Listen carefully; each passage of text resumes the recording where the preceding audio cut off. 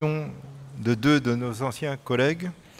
Madame Nicole Gautras, docteur en sciences économiques, doyen de la faculté de droit à l'université de Tours, maire adjointe de la ville de Tours.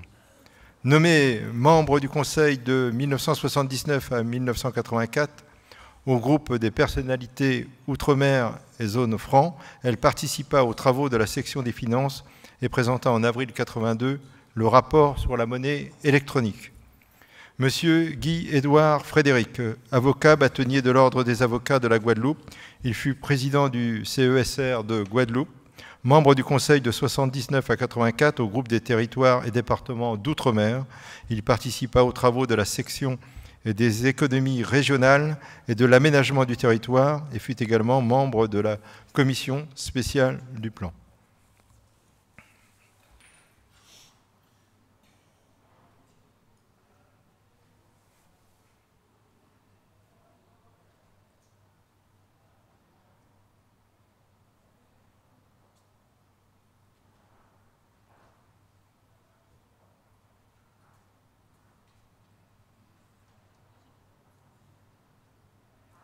Je vous remercie.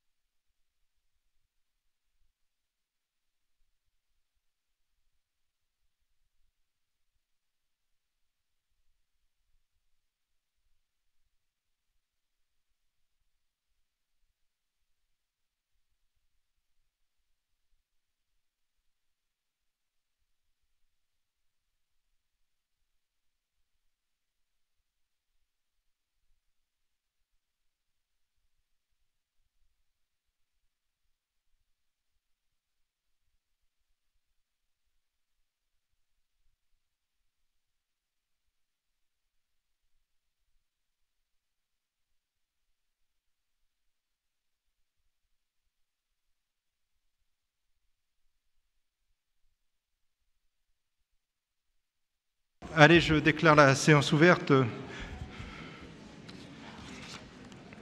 S'il vous voulez bien, quelques éléments d'information. Je, je, désire d'abord euh, présenter mes félicitations à Jean-François Naton, groupe euh, CGT, qui vient d'être chargé d'une mission par le ministre de la Santé et la ministre du Travail sur la question de la santé au travail, aux côtés d'un député et d'un représentant des entreprises. De la même façon, à Jean-François Serre, conseiller du groupe des associations, nommé par le Premier ministre sur la proposition de Gérald Darmanin, lui aussi, lui aussi aux côtés d'un parlementaire en tant que chargé de mission sur les questions de simplification administrative pour les personnes handicapées. Ces nominations, après celles de Jean-François Pillard au titre du ministre du Travail, mais aussi de Sylvie Brunet sur les questions d'apprentissage, sont des signaux particulièrement important pour le Conseil. Il démontre, s'il en était besoin, la qualité de ses membres. Je tiens aussi à féliciter Philippe Jassan du groupe des associations qui vient d'être nommé chevalier de l'Ordre national du mérite. je crois qu'on peut l'applaudir.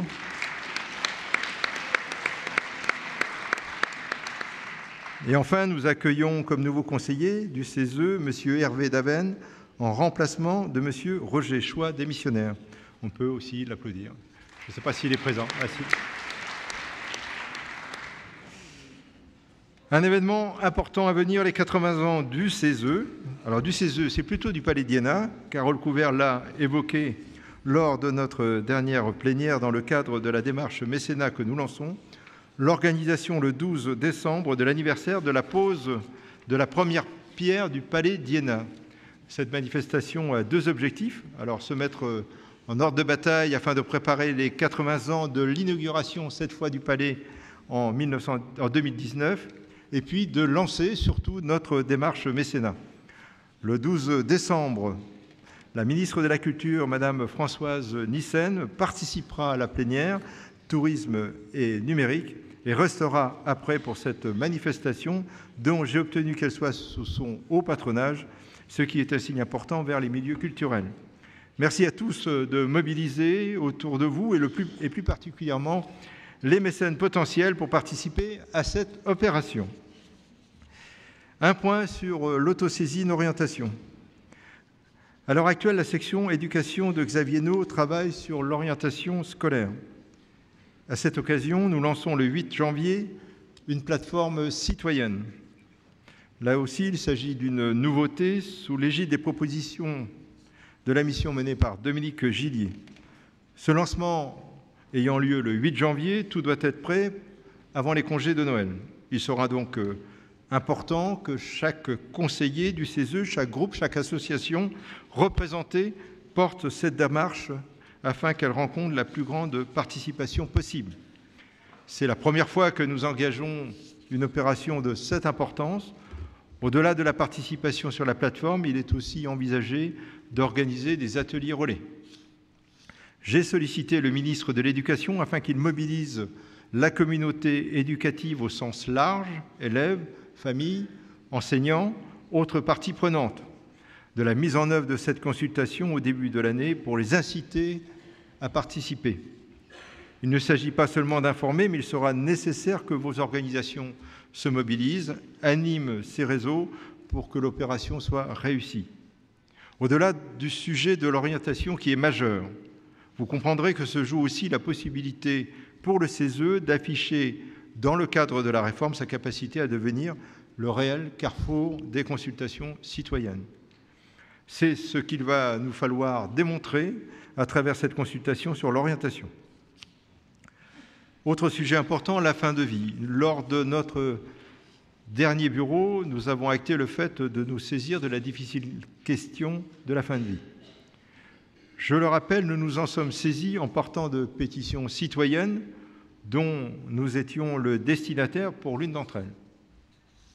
La mouvance d'une organisation hostile au mariage pour tous a, dès notre annonce, lancé une grande campagne calomnieuse sur les réseaux sociaux, campagne qui en fait ne cesse pas depuis 2013. Le fait que nous nous, nous saisissions de la question de la fin de vie ne doit pas être interprété au regard de la problématique posée à l'époque sur le mariage pour tous, qui a été tranchée sur le plan juridique et qui devrait bientôt l'être à nouveau, c'est simplement le droit pour notre Conseil de se saisir sur ce qu'il veut, quand il veut. C'est notre liberté d'assemblée constitutionnelle et nous devons la défendre en écoutant toutes et tous. J'en viens maintenant au point suivant, Tour de France de l'égalité. La semaine passée, le président de la République a engagé la France par un discours très fort à devenir un pays où l'égalité entre les femmes et les hommes deviendra une réalité. Il a annoncé des mesures fortes, il a fait de l'inégalité une grande cause du quinquennat. Nous avons été sollicités dans ce même cadre, c'est-à-dire dans cette priorité quinquennale, pour nous engager dans le Tour de France de l'égalité qui doit déboucher sur la présentation par le président de la République de son plan d'action sur les cinq ans à venir. Le ministre du Travail est sollicité aussi pour engager une réflexion sur la violence et le sexisme au travail. La société civile organisée que nous sommes ne peut pas rester en dehors de ce débat et au contraire, elle devrait même être proactive car nous représentons ici des femmes et des hommes engagés. J'ai saisi la délégation pour travailler à notre participation et notre engagement dans ce Tour de France. Mais cette question est celle du CESE et pas uniquement celle de la délégation. Je compte donc suivre personnellement les avancements de ces travaux qui aboutiront à une plénière où serait portée une résolution du bureau plénière qui aurait lieu sans doute le 23 janvier. Il serait par exemple tout à fait juste de demander que le budget concernant les actions sur l'égalité sur les violences soit fléché afin de mieux identifier les actions. C'est un vrai sujet et l'Assemblée que nous sommes est parfaitement légitime dans sa capacité et sa compétence à pouvoir évaluer les politiques publiques, de demander que chaque année, le gouvernement saisisse le CESE de cette question pour une évaluation. Quelques éléments de calendrier. Je vous rappelle que le 29 novembre, nous aurons une plénière consacrée au travail indépendant en saisine gouvernementale, donc demain. Le 12 décembre, plénière consacrée au tourisme numérique. Le 13 décembre, plénière consacrée aux déserts médicaux. Le 9 janvier, euh, nous avons suppression de la plénière. Le 23 janvier, plénière consacrée au Tour de France de l'égalité. Voilà. Je vous remercie de votre attention et nous allons donc maintenant attendre quelques instants l'arrivée du ministre d'État, M. Nicolas Hulot, avant de démarrer cette séance. Je vous remercie et je vais en profiter pour aller l'accueillir.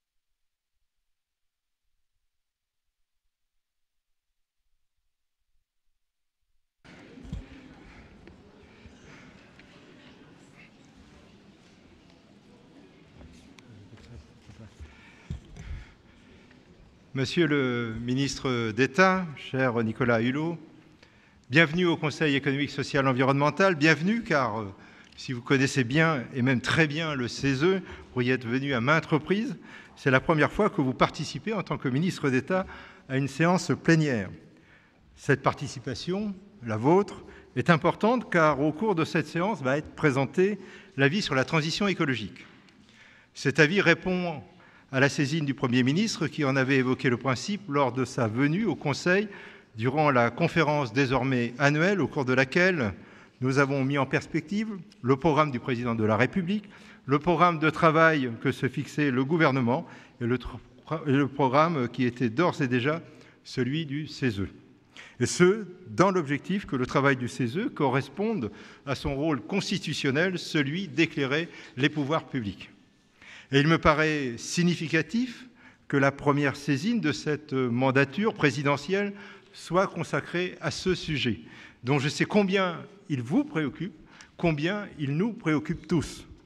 Je laisserai le soin d'introduire le sujet, bien entendu, puis de développer les constats et préconisations qui vont être soumis au vote du Conseil à Anne-Marie Ducroux, présidente de la section du développement durable, dont je tiens à saluer l'action déterminée, puis à Bruno Duchemin, rapporteur donc de la vie, la transition écologique et solidaire à l'échelon local.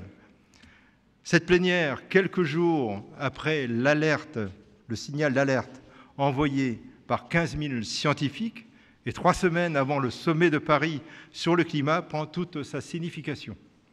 Cet avis, le premier que sollicite ce nouveau gouvernement, revêt à mes yeux une dimension symbolique, car il est, selon moi, particulièrement approprié de saisir notre Conseil sur cette question. En effet, depuis la réforme de 2008, le Conseil économique et social est devenu environnemental. Et nous portons désormais à tous ces sujets touchant à l'environnement l'attention, la vigueur, la détermination qu'ils méritent et que les Français attendent de nous. La présence au sein du CESE depuis 2008 d'un groupe des organisations de défense de l'environnement est un atout qui permet d'irriguer le Conseil d'une façon plus complète, plus large. Ce fut, et je peux affirmer que personne ne le conteste, une réforme réussie. Une réforme qui a permis l'introduction de nouveaux conseillers venant de nouvelles organisations, défense de l'environnement, mais aussi organisations de jeunesse, leurs conseillers, qui se sont succédés depuis 2010, ont démontré leur grande volonté d'intégration sur l'ensemble des sujets qui relèvent de la responsabilité du CESE, et c'est donc un objectif atteint. Cet objectif a été atteint car la cohérence, les fondements, la construction de l'institution ont été respectés. Cohérence, fondement, construction sont la colonne vertébrale sans laquelle une institution, à plus forte raison une assemblée est inefficace, voire contre-productive. Colonne vertébrale qui permet à ce Conseil, où sont déjà représentées plus de 61, ou 61 organisations, allant des plus grandes organisations, mais aussi associations, syndicats, de travailler en cohérence, sans être une addition d'individualités ne défendant que des intérêts particuliers. Nous devons garder présent à l'esprit de de ce chiffre de 61 organisations. Il peut en manquer, mais ce chiffre est important. Nous devons également garder présent à l'esprit deux autres éléments. Premièrement, le total des adhérents de ces 61 organisations représentées au CESE avoisine celui de la population majeure de ce pays. Deuxièmement, les conseillers du CESE, y compris la grande partie des conseillers et conseillères nommés en tant que personnalités qualifiées, ont trois responsabilités. Ils sont conseillers du CESE, ils sont engagés dans leur organisation, ils sont engagés dans leur vie professionnelle. Il s'agit là d'un principe qui régit notre institution. C'est ce qui constitue en particulier la grande richesse du CESE et par voie de conséquence fait de son travail, de ses avis ou recommandations, un apport déterminant pour notre pays. En effet, le CESE n'est pas une assemblée d'experts, bien entendu, il y a en son sein des sachants, et cela est bien, mais ils ne sont pas conseillés à ce seul titre. Un comité d'experts, cela est facile à créer, et l'État le fait bien souvent, avec des fortunes diverses d'ailleurs, car se pose toujours pour eux la question de la légitimité de leurs préconisations. La vie qui vous sera remis, s'il est voté, aura une autre dimension, une valeur d'autant plus grande qu'il sera l'expression de la société civile organisée, laquelle aura mesuré pour construire cet avis le degré d'acceptabilité sociale et sociétale de ces préconisations. Voilà bien la richesse irremplaçable du CESE. Et cette richesse du CESE vient de loin. Elle lui a déjà permis de s'exprimer et de très nombreuses fois sur les questions fondamentales de l'environnement, de l'écologie, du développement durable. Je citerai bien entendu et en premier lieu l'avis récemment rendu par Jean Jouzel et Julien Blanchet, Sciences et Société, répondent aux enjeux climatiques, mais il y en eut d'autres. Et le passé est là pour le démontrer. Permettez-moi ainsi de rappeler que le CESE, y compris quand il n'était qu'économique et social, était déjà une chambre dont le futur n'était pas absent. Bien au contraire, l'archéologie institutionnelle peut ainsi se révéler passionnante et je suis persuadé que les membres de l'Assemblée vont eux-mêmes peut-être, comme vous, Monsieur le ministre d'État, être surpris par ce que je vais vous apprendre. Saviez-vous, par exemple, que le Conseil a voté dès 1964 un avis relatif à la pollution atmosphérique un autre sur la pollution de l'eau. En 72, c'était un avis sur la destruction des sites naturels. 78, un avis sur la question du recyclage des matières premières. 97, 2000, des avis sur l'effet de serre et les perspectives industrielles. J'arrête là cette liste évocatrice de l'esprit de responsabilité quant aux générations futures qui règnent ici. Vous m'autoriserez, Monsieur le Ministre, à vous remettre ces avis que je viens d'évoquer. Ils sont ici, vous pourrez les emporter. Ils vous passionneront, car tout comme aujourd'hui, ils étaient destinés à éclairer les pouvoirs publics. Encore faut-il que les pouvoirs publics acceptent d'être éclairés. Je pense que le sens profond de la réforme que nous propose le président de la République est d'ailleurs bien là. Je sais, Monsieur le ministre, que cette Assemblée peut compter sur vous pour porter ce message, tout comme vous pouvez et pourrez compter sur cette Assemblée. Elle sera à vos côtés dans les tâches qui sont les vôtres et dont nous percevons à la fois la lourdeur et la complexité dans la gestion des impératifs contraires. Les contraires, nous savons ici les appréhender, nous faisons en sorte sans y arriver toujours, de les transformer en consensus. Des consensus qui, contrairement à ce que l'on croit, ne sont pas mous, mais avant tout acceptables par le plus grand nombre, et c'est là leur grand mérite, leur grande valeur. Car les préconisations du CESE ont un objectif, celui de pouvoir être appliquées, que vaudraient les conseils ou les avis sans l'assurance, ou au moins l'espoir qu'ils soient entendus. Le CESE, Monsieur le ministre d'État, sera à vos côtés, car l'action qui est la vôtre est indispensable à notre avenir commun et partagé. Je vous remercie.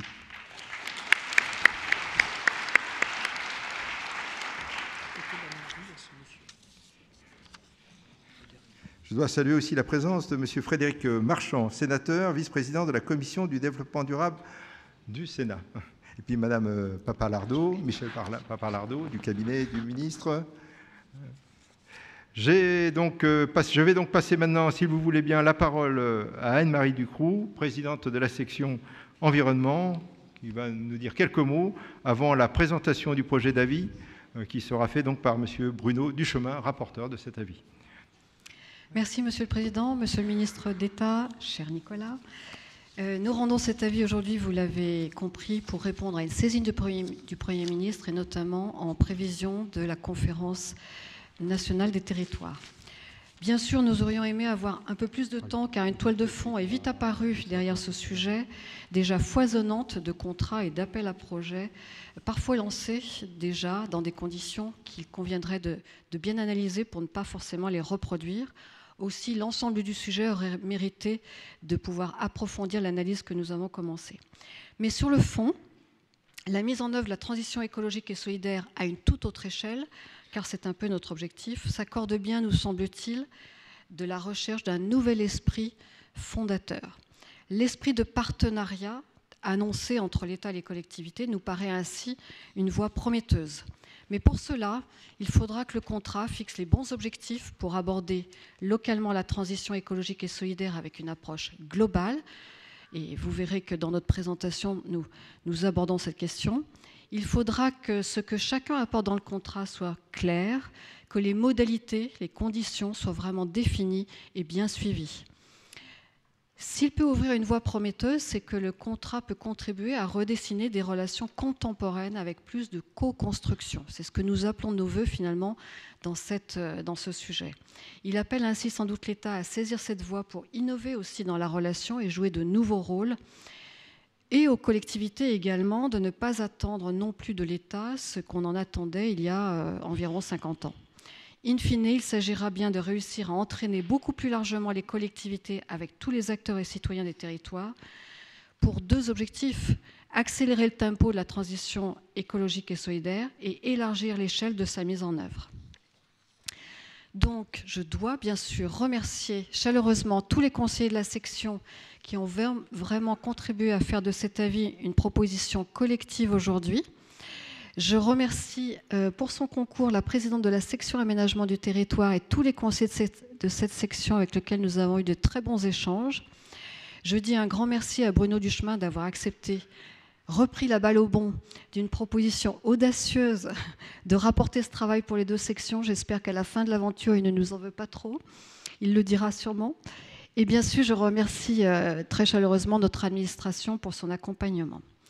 Enfin, et pour finir, je voudrais, je souhaiterais, Monsieur le Ministre, que nous ayons un processus avec votre ministère de discussion et de suivi de nos recommandations.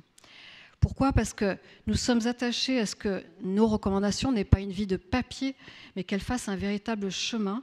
Et ce chemin, on aimerait le réussir ensemble. Cette saisine du Premier ministre, plus qu'une commande, nous la lisons aussi, à notre manière, comme une forme de contrat qui nous engage ensemble. Alors nous souhaitons qu'il nous conduise à innover aussi dans le processus d'examen et de réponse des recommandations de la société civile organisée. Vous l'avez rappelé, Monsieur le Président, ce sont 18 groupes d'acteurs, 61 organisations. Nous sommes en phase, j'en doutais pas. Et ils sont rassemblés ici parce que la Constitution l'a voulu. Aussi, car je sais l'esprit, euh, cher Nicolas, qui est le vôtre, peut-être je peux dire le tien, je souhaitais te remercier tout particulièrement de ton attention et de ta présence aujourd'hui car j'en suis sûr, ce sera la première étape de ce processus que nous appelons de nos voeux. Merci. Je vais donc demander au rapporteur de bien vouloir présenter euh, cet avis.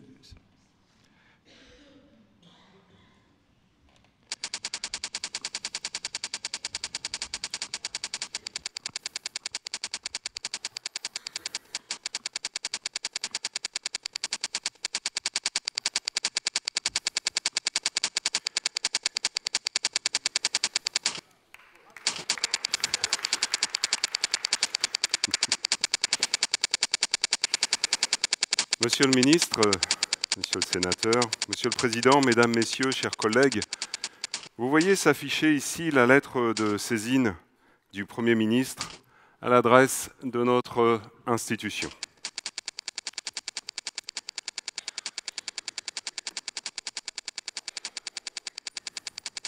Merci.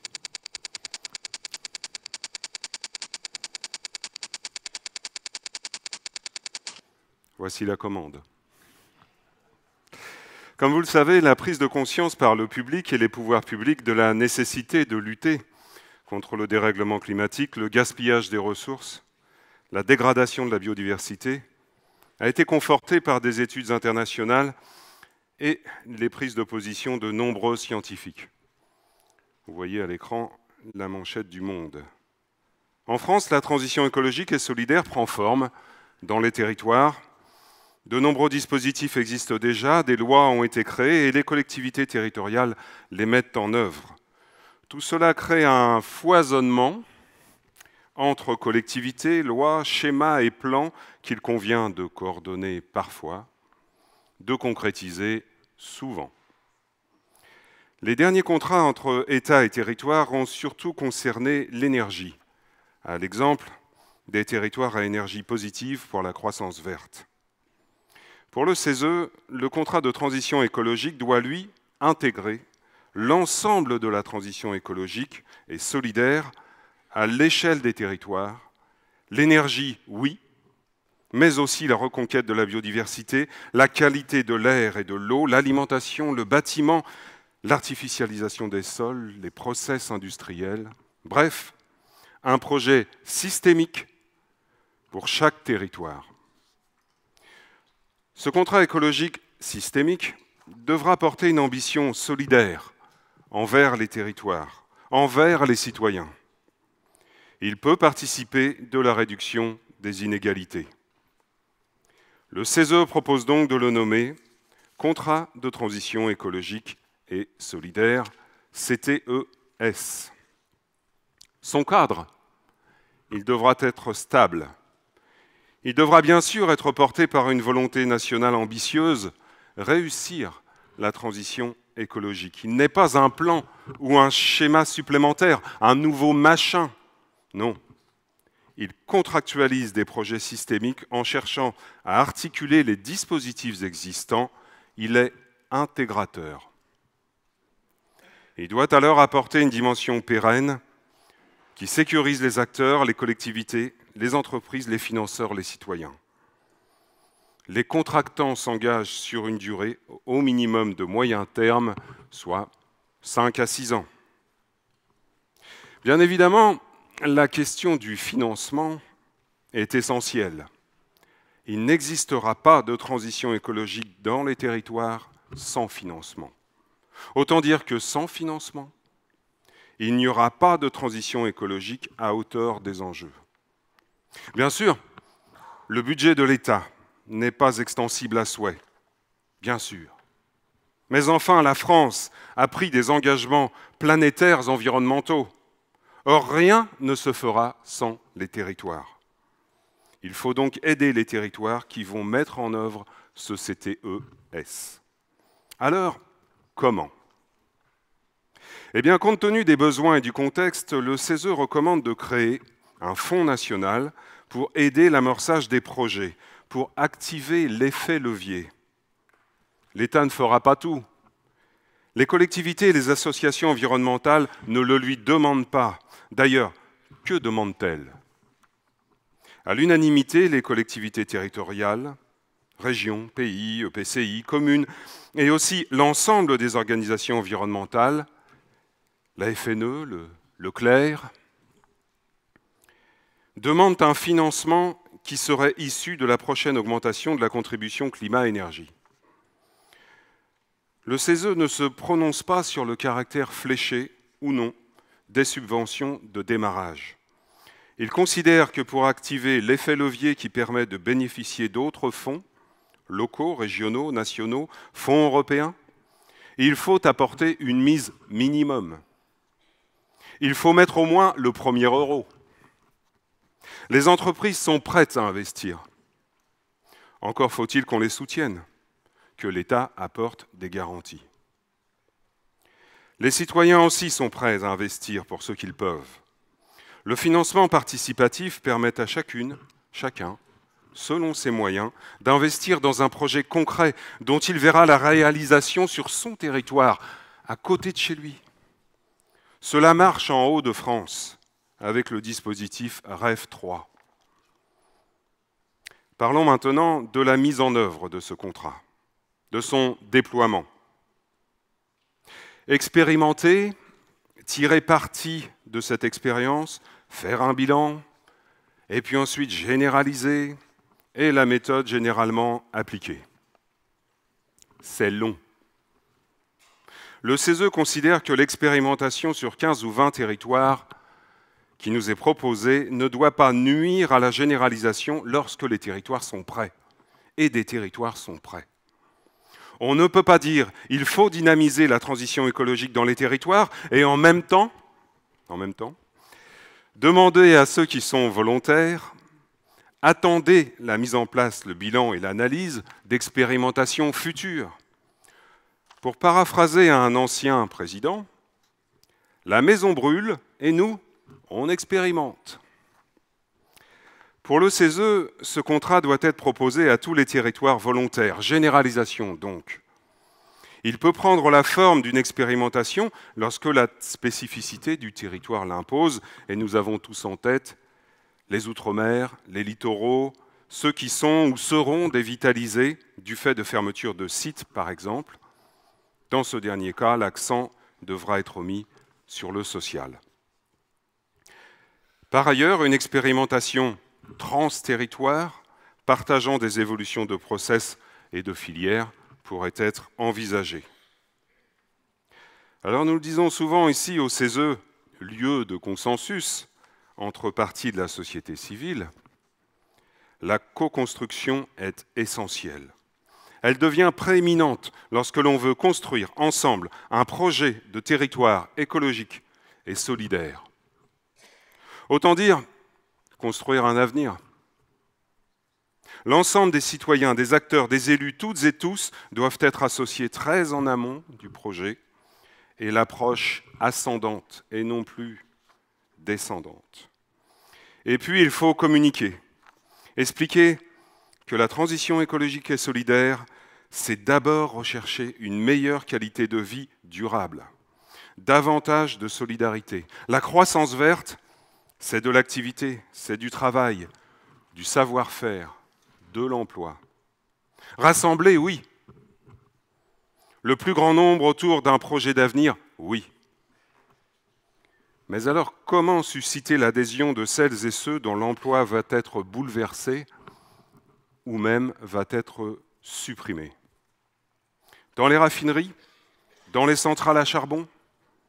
Une transition systémique, par définition, touche à la façon de produire, de consommer, touche au comportement, à la majorité des métiers. Le numérique menace déjà de modifier considérablement l'emploi de toutes et de tous, de modifier notre quotidien. Comment faire accepter un autre bouleversement écologique?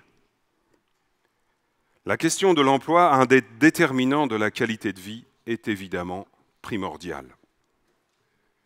Sur l'ensemble des territoires, l'emploi va connaître des évolutions. Les salariés, les entreprises vont devoir acquérir de nouveaux savoir-faire, de nouvelles compétences collectives et individuelles. Mais alors, comment réussir cette adéquation future entre les besoins en savoir-faire des entreprises et les compétences des salariés? Lorsque l'activité, le métier se transforme. Le CESE répond en utilisant des outils.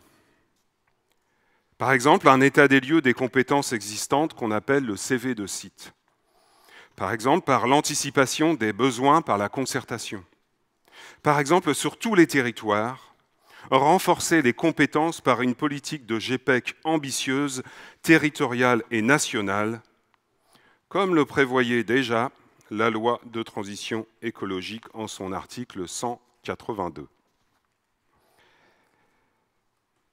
Lorsque nous avons demandé aux collectivités territoriales quelles mesures de solidarité ils souhaiteraient dans la mise en œuvre de ce CTES, elles n'ont pas répondu plus d'argent.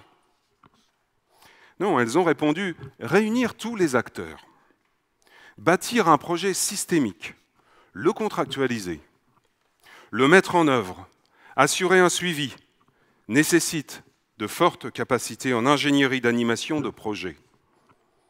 Certains territoires peuvent se le permettre, on pense aux grandes métropoles. D'autres, les plus défavorisés, n'y accéderont jamais seuls. Cela, il convient de les aider. Le CESE recommande donc de, de renforcer l'ingénierie d'animation dès l'amont du projet de territoire en s'appuyant sur les services déjà existants, DREAL, le CEREMA, l'ADEME, l'AFB, etc. Aucun territoire ne doit être exclu. Si le projet de territoire suscite de l'espoir d'avenir, alors aucune citoyenne, aucun citoyen ne doit être privé de cet espoir. Alors voilà, nous avons un projet de territoire. Nous avons un financement, une co-construction et une solidarité de l'emploi et des compétences. Nous avons de l'ingénierie. Nous n'avons pas encore défini la gouvernance. Le projet de territoire est élaboré au niveau de l'intercommunalité, l'EPCI, qui en sera l'opérateur. Il est donc normal de contracter entre l'État et l'EPCI. La région dispose de nombreuses compétences, notamment depuis la loi MAPTAM de 2014 qui lui confère une responsabilité de chef de file en matière d'environnement. Elle, élabore les SRDE2I, les SRADET, documents de planification et de cohérence territoriale. La région doit donc être associée dès le départ à la construction du projet de territoire et donc au CTES, contrat tripartite en l'occurrence, sauf bien sûr, dans le cas où la région ne souhaiterait pas être contractante. Dans ce cas, le projet serait bipartite. À ces acteurs, il convient d'ajouter, lorsque cela est nécessaire, un référent communal pour sa partie de projet, si le projet est évidemment étendu sur plusieurs communes. Alors, ce contrat écologique et solidaire que propose le CESE est-il innovant? Eh bien, tout d'abord, il est construit en mode, en mode projet remontant des territoires, ce qui est assez innovant, associant tous les acteurs, toutes les citoyennes, tous les citoyens, très en amont, pendant la mise en place, durant le pilotage, grâce à, par exemple, des contrats, des conseils locaux de transition. Voilà qui est déjà innovant. Mais il utilise aussi des outils innovants.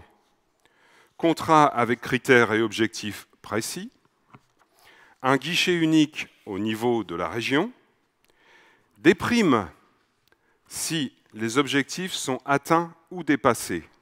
Et aussi, il utilise des moyens financiers, un hub de financement territorial, du financement participatif, des livrets de développement durable de territoire auxquels chaque citoyenne, chaque citoyen peut adhérer, et aussi des monnaies locales. Et enfin, le financement, bien sûr, très important, de la recherche et du développement. On nous a dit quand le démonstrateur fonctionne, on trouve de l'argent, mais quand il s'agit de prendre des risques pour financer la recherche et le développement, c'est plus difficile. Ce contrat propose un droit à l'expérimentation en s'inspirant de ce qui fonctionne ailleurs, par exemple les Green Deals aux Pays-Bas. Une extension d'autorisation encadrée pour les ICPE, installations classées pour l'environnement. Alors, Monsieur le ministre, Monsieur le sénateur, Mesdames, Messieurs, ce contrat de transition écologique et solidaire repose avant tout, vous l'avez compris, sur un projet de territoire. Il serait bon certainement d'interroger un territoire pour savoir ce qu'il en pense. C'est ouvert Que nous dit par exemple le maire d'une petite commune de Grand Bois, dans le sud Luberon, qui a lui-même participé à l'élaboration du plan climat-air-énergie sur son territoire, territoire situé pour partie dans le parc naturel régional du Luberon. Alors, Alain Ferretti, vous avez apporté votre appui à cet avis. Les territoires sont-ils prêts? Bien évidemment, il y a déjà de très nombreuses collectivités qui ont déjà mis en œuvre des actions dans ce domaine pour les économies d'énergie, pour les énergies renouvelables avec les citoyens, comme les centrales villageoises, l'éclairage public, euh, les biomasses, les circuits de distribution, les transports, la mobilité, la lutte contre les gaspillages, les déchets, les jardins familiaux, les commandes et fournitures, les cantines, l'urbanisme, la construction et bientôt l'eau, l'assainissement, euh, la prévention des risques inondations, les régions et les parcs naturels régionaux, lorsque certains territoires en sont dotés, comme le mien, euh, élaborent déjà des outils pour accompagner euh, l'action des EPCI et des communes. Les contrats nouveaux permettront d'élargir le périmètre d'action des collectivités et d'agir de façon plus globale, plus systémique. Les EPCI et leurs communes membres sont l'échelon de proximité le plus pertinent. Avec les acteurs du territoire, ils pourront, par ce nouvel outil, faire adhérer les populations, y compris les enfants et les jeunes, dans les écoles par exemple, organiser le débat public euh, pour faire partager les enjeux d'avenir de façon permanente, anticiper aussi sur les mutations futures. Ils pourront mobiliser tous les acteurs, publics, privés, et des ressources locales pour contribuer à prendre ce virage qui permettra de préserver la planète et les générations futures. Euh, dès lors qu'elles disposeront des moyens suffisants, comme tu l'as expliqué Bruno, dès lors donc que le cadre de gestion de tous ces outils sera simplifié, parce qu'il faut une bonne compréhension, une bonne appropriation, et puis donc euh, avec ces principes, euh, Monsieur le ministre, eh bien, les collectivités seront à même de pouvoir concrétiser cette transition qui s'impose à nous tous. Merci Alain. Alors voilà, les territoires sont prêts. Mais alors, pourquoi la transition écologique ne prend-elle pas plus d'ampleur?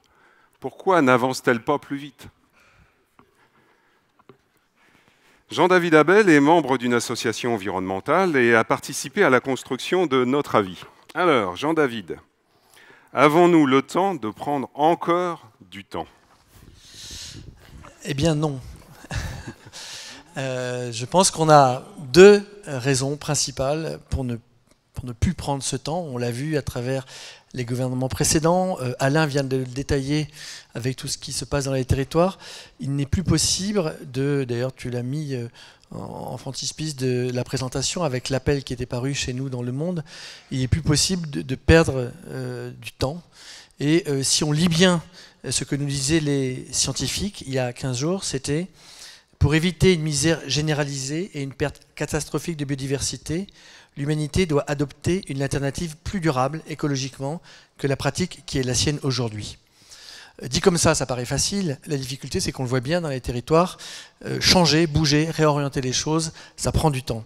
Et c'est pour ça que l'échelon territorial, pour nous, est absolument fondamental. C'est là que des habitants, des acteurs économiques peuvent travailler ensemble à des projets à moyen et à long terme pour réorienter les choses. Ce qui est intéressant, et c'est la deuxième raison qui fait qu'on ne doit absolument plus perdre de temps aujourd'hui, c'est que ça existe déjà. Il y a des milliers, on a vu, on a eu pas mal d'auditions là pour cet avis, euh, des milliers euh, d'exemples dans les territoires de collectivités, d'acteurs économiques, d'associations euh, qui expérimentent ou qui déjà depuis longtemps en matière de mobilité, d'énergie, d'alimentation, de biodiversité, de déchets font déjà, ont déjà mis des choses en œuvre avec des choses qui ont déjà un très bon retour d'expérience. Donc on voit bien que les solutions euh, qu'on pourrait, c'est un peu ça qu'on dit dans la vie, étendre à l'ensemble des territoires, existent déjà, il faut organiser ces ressources, et euh, pour nous, l'enjeu aujourd'hui, c'est vraiment de changer d'échelle, pas seulement de faire quelques territoires de témoignage, mais vraiment de permettre à plus de territoires, à tous les territoires, de passer à la transition. Merci Jean-David. Alors voilà, la transition écologique et solidaire au niveau local est une transformation systémique qui porte un projet d'espoir, d'un bien-être durable pour les citoyennes et les citoyens, pour l'ensemble des collectivités territoriales. Le contrat de transition écologique et solidaire propose de contractualiser ce projet. Le monde économique est fortement mis à contribution. On parle de troisième révolution industrielle. Il faut le soutenir. Pour le CESE, réussir la transition écologique et solidaire, c'est aussi réussir la transition de l'emploi. Le contrat que nous proposons participe à l'atteinte des objectifs nationaux et régionaux de manière coordonnée. La société civile représentée ici au CESE propose des outils fonctionnels innovants. Il importe aujourd'hui de ne pas décevoir, de dynamiser les synergies, de donner du souffle à une stratégie nationale. Les territoires nous disent, nous sommes prêts. La communauté scientifique, les associations environnementales nous disent, on ne peut plus attendre. L'opinion publique, mais elle est favorable. Le CESE, par cet avis, vient d'élaborer un outil de mise en œuvre. Alors, Monsieur le ministre, Monsieur le sénateur, Mesdames, Messieurs, que faisons-nous? Merci.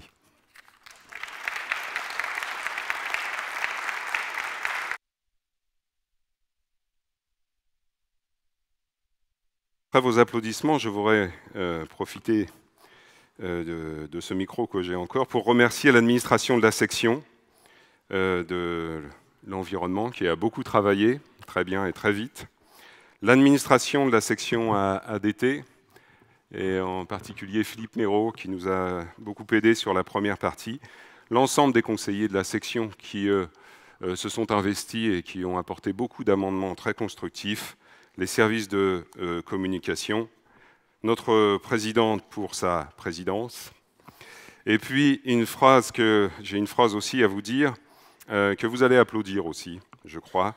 Euh, alors on n'a plus le droit de le dire, mais le P de l'amitié voilà, est offert à la fin de la séance et donc rendez-vous à l'endroit que vous connaissez. Voilà.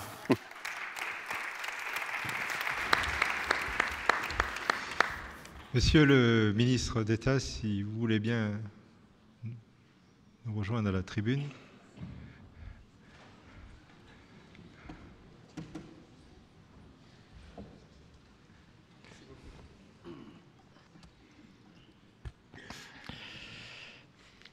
Merci, Monsieur le Président. Merci, euh, Monsieur le rapporteur. J'ai pu apprécier la qualité et l'originalité de votre présentation. Mesdames, Messieurs les conseillers, d'abord euh, vous dire, Monsieur le Président, qu'il est inutile de faire de l'archéologie institutionnelle pour me faire la démonstration que de tout temps, euh, cette Assemblée euh, s'est préoccupée d'environnement. Mais vous faites bien quand même de nous rappeler que, en temps utile et depuis longue date, vous avez émis un certain nombre d'avis ce qui pose le problème, c'est qu'aucun gouvernement ne peut prétendre ne pas avoir été bien avisé. Et donc, euh, il faudrait qu'à l'avenir, effectivement, aussi avisés soit-on, nous tenions compte notamment euh, des orientations qui sont les vôtres, et je dis ça par rapport au rapport qui nous a été donné aujourd'hui. Par ailleurs, en cheminant ici, qui est quand même pour moi quelque chose d'un peu inattendu dans mon parcours, je me disais que, pour finir, et je peux m'en enorgueillir, je suis un homme de lettres. Ne souriez pas, monsieur Bougrain-Dubourg. Parce que dans le pacte écologique en 2007, je pense avoir contribué au fait de rajouter une lettre au Conseil économique et social, la lettre E. Première lettre.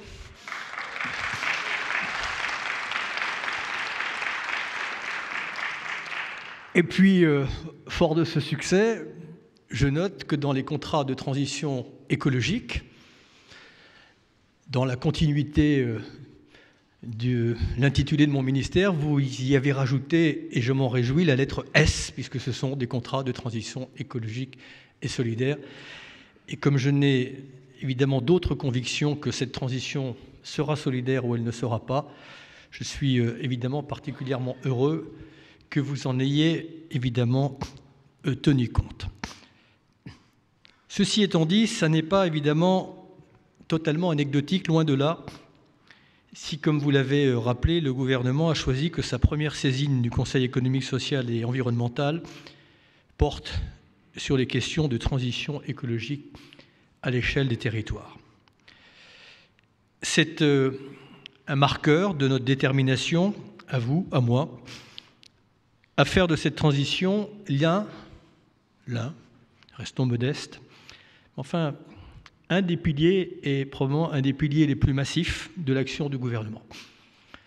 D'abord parce que je suis convaincu que nous allons aller de bonne surprise en bonne surprise si on fait les choses avec beaucoup d'ambition. Car je reste au fond de moi-même convaincu que l'enjeu écologique, énergétique et climatique, si on s'en saisit euh, en additionnant nos intelligences, peut être un extraordinaire instrument de sortie de crise. Mais vous et moi, ici au CESE, moi au ministère, nous avons en commun une double optique. Une double optique qui euh, rend, je dirais, nos, nos équations et notre action parfois un peu difficiles. La première optique, celle qui se fait euh, pressante sur notre société au quotidien, qui est palpable, qui est visible, c'est celle du court terme, de l'immédiat et de l'instant. Et force est de constater, mais c'est bien normal, c'est l'optique dominante de notre univers, tant les difficultés qui sont rencontrées par euh, nos concitoyens sont nombreuses, palpables, et évidemment euh, préemptent d'autres difficultés qui sont dans notre radar, mais évidemment qui n'occasionnent pas forcément de souffrances aussi immédiates.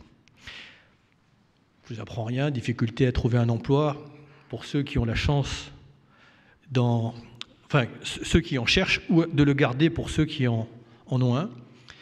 Revenus euh, souvent si modestes avec des difficultés que chacun connaît dans les foyers pour euh, non seulement payer sa nourriture, mais ce que l'on découvre maintenant, y compris pour payer ses factures énergétiques. Risque sur la qualité de vie qui est lié à un environnement que l'on a laissé se dégrader de décennie en décennie, en décennie. Besoin de mobilité pour aller travailler, pour les loisirs, qui sont euh, autant de briques du lien social qui apparaissent immédiatement de manière aiguë sur euh, les territoires, évidemment que nous sommes obligés de prendre en compte, que certains euh, aimeraient que l'on en fasse abstraction pour simplement privilégier le long terme, mais nous avons justement cette équation de combiner bien les deux, enjeux. Car cette optique du court terme, elle dicte aujourd'hui sa loi, et c'est normal, mais elle ne doit pas, évidemment, nous éloigner de la deuxième optique. Mais si les territoires sont les révélateurs des inégalités, sont aussi parfois les marqueurs des échecs du politique, et vous l'avez dit, ils sont aussi, la plupart du temps, les laboratoires de l'innovation. Et c'est là qu'entre en jeu notre deuxième optique, celle que je suis censé euh, porter, sans ignorer la première, c'est celle du long terme et celle du futur. Et je dis d'ailleurs souvent que nous avons un invité surprise au XXIe siècle, qui euh, n'est pas forcément euh, représenté, qui est le futur. Et c'est une responsabilité, c'est un indice de civilisation que de ne pas l'ignorer. Et cette deuxième optique, elle est indispensable aux politiques qui ne peut pas utiliser correctement son microscope si dans le même temps, sa longue vue ne fonctionne pas. Car si on veut faire entrer véritablement euh, nos territoires dans le XXIe siècle, il faut, euh, pardon l'expression, mais avoir simultanément un œil sur le volant, un œil sur la route et sur l'horizon en même temps. Les crises écologiques que nous devons affronter, je parle aussi bien, euh, pour faire court, de la menace climatique que de l'érosion de la biodiversité, dont on ne mesure pas non plus euh, les effets irréversibles sur notre propre destin, sont en effet des paramètres que nous ne pouvons plus ignorer. Je sais que dans cette Assemblée, vous l'avez en tête, mais ça n'est pas encore spontanément dans l'esprit d'autres décideurs. Ils doivent être dans le radar des politiques publiques, non seulement parce que leur dimension systémique fait peser sur nos sociétés des menaces lourdes et le terme est faible, mais aussi parce que nous vivons dans un carrefour de crise où les menaces d'effondrement de nos écosystèmes ajoutent de la pauvreté à la pauvreté et accentuent les inégalités.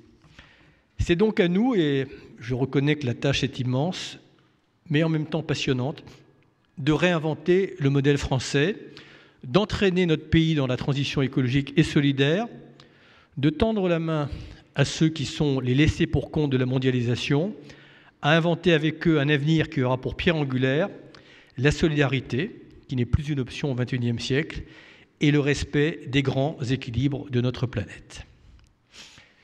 Vous savez, souvent je repense à cette définition du progrès qu'avait donné Victor Hugo. Il disait le progrès, c'est la révolution faite à l'amiable. Tout à l'heure, je ne sais plus lequel d'entre vous disait qu'on n'est pas à l'aune d'une révolution, mais d'une évolution. Moi, je pense que nous sommes euh, dans une révolution, mais nous avons cette possibilité de la conduire à l'amiable.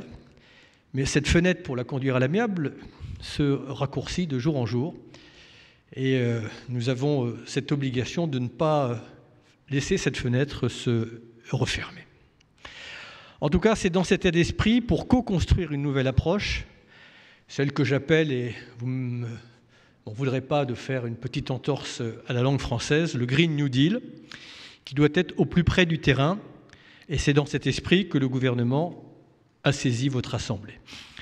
Alors, je voudrais très sincèrement euh, vous remercier parce que le travail que vous faites euh, va beaucoup m'aider dans l'élaboration de ces contrats de transition la qualité du travail qui a été euh, réalisé par la section de l'environnement. Et évidemment, monsieur le rapporteur, monsieur Duchemin, je tiens également à saluer votre contribution et ceux qui ont participé. L'avis que vous rendez aujourd'hui, évidemment, va nourrir très utilement, et croyez-moi, nous allons nous en inspirer, en essayant d'ailleurs euh, de prendre le maximum de ce que vous nous suggérez. On va euh, s'en inspirer pour travailler et mettre en œuvre la feuille de route du projet que mon ministère va conduire. On le sait tous, la transition écologique, c'est une transition euh, sociétale. Certains n'ont pas encore compris justement la dimension de cette transformation et parfois euh, s'étonnent que ça n'aille pas plus vite. Enfin, transformation sociétale et culturelle, ça ne se décrète pas, ça ne s'impose pas, ça se suscite.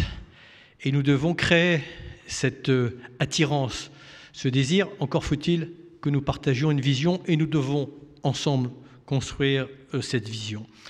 C'est une transformation en profondeur, c'est une métamorphose, comme dit euh, souvent mon camarade Edgar Morin, métamorphose douce, mais qui doit être programmée, bien entendu, qui doit être choisi plutôt que subi et qui doit être irréversible. Moi, j'ai une conviction profonde, si on veut que cette transition, si les mots ont un sens, puisse se mettre en marche, parce qu'elle n'est pas encore en marche. On a probablement défini des objectifs. Je ne suis pas sûr qu'on ait encore la boussole. Je suis encore moins sûr qu'on ait tracé la route. Mais si on veut le faire, il faut trois principes. La prévisibilité, qui est très importante, l'irréversibilité, qui est tout aussi importante, et la progressivité, dans la progressivité, parce qu'il y a des enjeux sociaux que vous avez évoqués. Certains aimeraient qu'on précipite les étapes. Dans beaucoup de domaines, je ne ferai pas référence, mais en faisant comme si derrière des transformations professionnelles, il n'y avait pas des salariés, il n'y avait pas des filières, il n'y avait pas des hommes, des femmes, des parcours de vie. Et je m'étonne que parfois on se revendique comme étant humaniste, et puis que dans une certaine brutalité, on prône pour des transformations sans tenir compte des impacts sociaux. Et moi je sais que dans une démocratie qui fonctionne bien, et tant mieux si elle fonctionne bien, si on n'appréhende pas, non pas les perdants et les gagnants, parce qu'en final je suis convaincu qu'il n'y aura que des gagnants. Mais pour qu'il n'y ait que des gagnants, il faut le faire évidemment dans une forme de progressivité et comme vous l'avez dit, être le plus en amont possible et ne pas simplement imposer les choses d'en haut, mais effectivement qu'il y ait un véritable dialogue. C'est l'esprit des contrats de transition. Nos territoires, nos entreprises, notre pays doit se réinventer, c'est clair, et gérer des transformations. Quand nous étions, euh, et nous le sommes peut-être encore un peu, prisonniers des énergies fossiles, maintenant nous allons nous en libérer et nous devons développer massivement des énergies renouvelables. Quand nous étions enfermés dans un modèle agricole industriel, en occultant ou en niant parfois la réalité des femmes, des hommes et des territoires pour produire sans discernement des aliments, reconnaissons-le, souvent gavés de produits chimiques, nous devons maintenant prendre le virage de l'agroécologie. Quand la mobilité exclut, parce qu'elle se concentre, se concentre sur ceux qui ont les moyens de se payer leur propre véhicule, nous, nous devons reconstruire la mobilité du quotidien. C'est ça, c'est cela la métamorphose de la transition écologique, c'est celle que nous voulons construire avec les territoires, pas contre eux, mais simplement avec eux. C'est pour cela que nous avons décidé de développer les fameux contrats de transition écologique, et j'y ajoute maintenant, grâce à vous, et solidaire. Ces contrats de transition, ils sont portés dans le cadre, vous l'avez rappelé, de la Conférence nationale des territoires c'est déjà un espace de co-construction puisqu'il implique toutes les associations d'élus, AMF, ADCF, ADF, ARF en premier lieu. Ils ont été longuement discutés avec la Commission du développement durable de l'Assemblée nationale ainsi qu'au Sénat, dans l'hémicycle encore la semaine dernière, et ils seront prochainement présentés au CNTE, le Conseil national de la transition écologique. Je vous épargne toutes les discussions interministérielles qui ne sont pas d'ailleurs toujours les plus simples. Surtout, ils ont fait et font et feront l'objet de très nombreux échanges, en particulier, évidemment, avec les représentants du monde associatif, mais également avec les organisations syndicales. J'ai l'autre jour euh, engagé avec M. Martinez à ce sujet un début de dialogue, parce que j'ai une intime conscience que cela se fera également si chacun partage cette vision et si chacun en comprend le bénéfice, les pertinences, les nécessités et l'utilité. Aujourd'hui, et je vous en remercie une fois encore, c'est au tour donc du CESE de se prononcer sur le sujet. Quelque part, vous faites une sorte de synthèse de tous ces avis, le travail que vous avez conduit, et je le dis, et nous en avons parlé avec ma directrice de cabinet, Michel Papalardo, ce travail est très impressionnant, et une fois encore, merci c'est autant de soulagement pour notre ministère qui nous permettra d'aller plus vite et plus loin. Le rôle du gouvernement, c'est de rendre ce mouvement possible, de l'engager. Les énergies, les bonnes volontés, les idées, les projets, chacun le sait, ça ne manque pas. Ce dont il s'agit, c'est avant tout de les organiser, de les fédérer et de les faire converger. Cette logique, c'est celle des contrats de transition écologique et solidaire. C'est une logique d'agrégation, de mise en commun, de mise en cohérence de l'action des territoires, comme justement le suggère, monsieur le rapporteur, votre avis. Cette logique, elle se décline dans tous les compartiments des contrats, à commencer par les aspects financiers. Et d'ailleurs, à ce titre, la remarque qui vous a été faite en audition est significative. Les financements existent. Le problème est surtout de les mobiliser. Là encore, le cadre que je pose avec le, Green New Deal devrait permettre de créer un cadre de mobilisation de ces financements. Car votre avis, il vient directement nourrir les politiques que nous allons mener et que nous mènerons avec vous. Et le travail avec vous ne fait que commencer. C'est vrai de notre action législative au niveau national, et je pense en particulier au plan climat que j'ai présenté en juillet ou au projet de loi hydrocarbures qui est actuellement discuté au Parlement. Vous savez qu'il y a eu une première étape à l'Assemblée. Je découvre d'ailleurs les délices de la démocratie. Puis au Sénat, puis en commission paritaire mixte. Et dès demain matin, je repars euh, à l'ouvrage à l'Assemblée nationale. Ce projet de loi hydrocarbures, comme vous le savez, prévoit un tarissement progressif mais irréversible de la production d'hydrocarbures sur l'ensemble du territoire national. Il nous oblige à penser avec les territoires, les élus, les entreprises et les salariés une reconversion nécessaire, là aussi pour ne laisser personne de côté.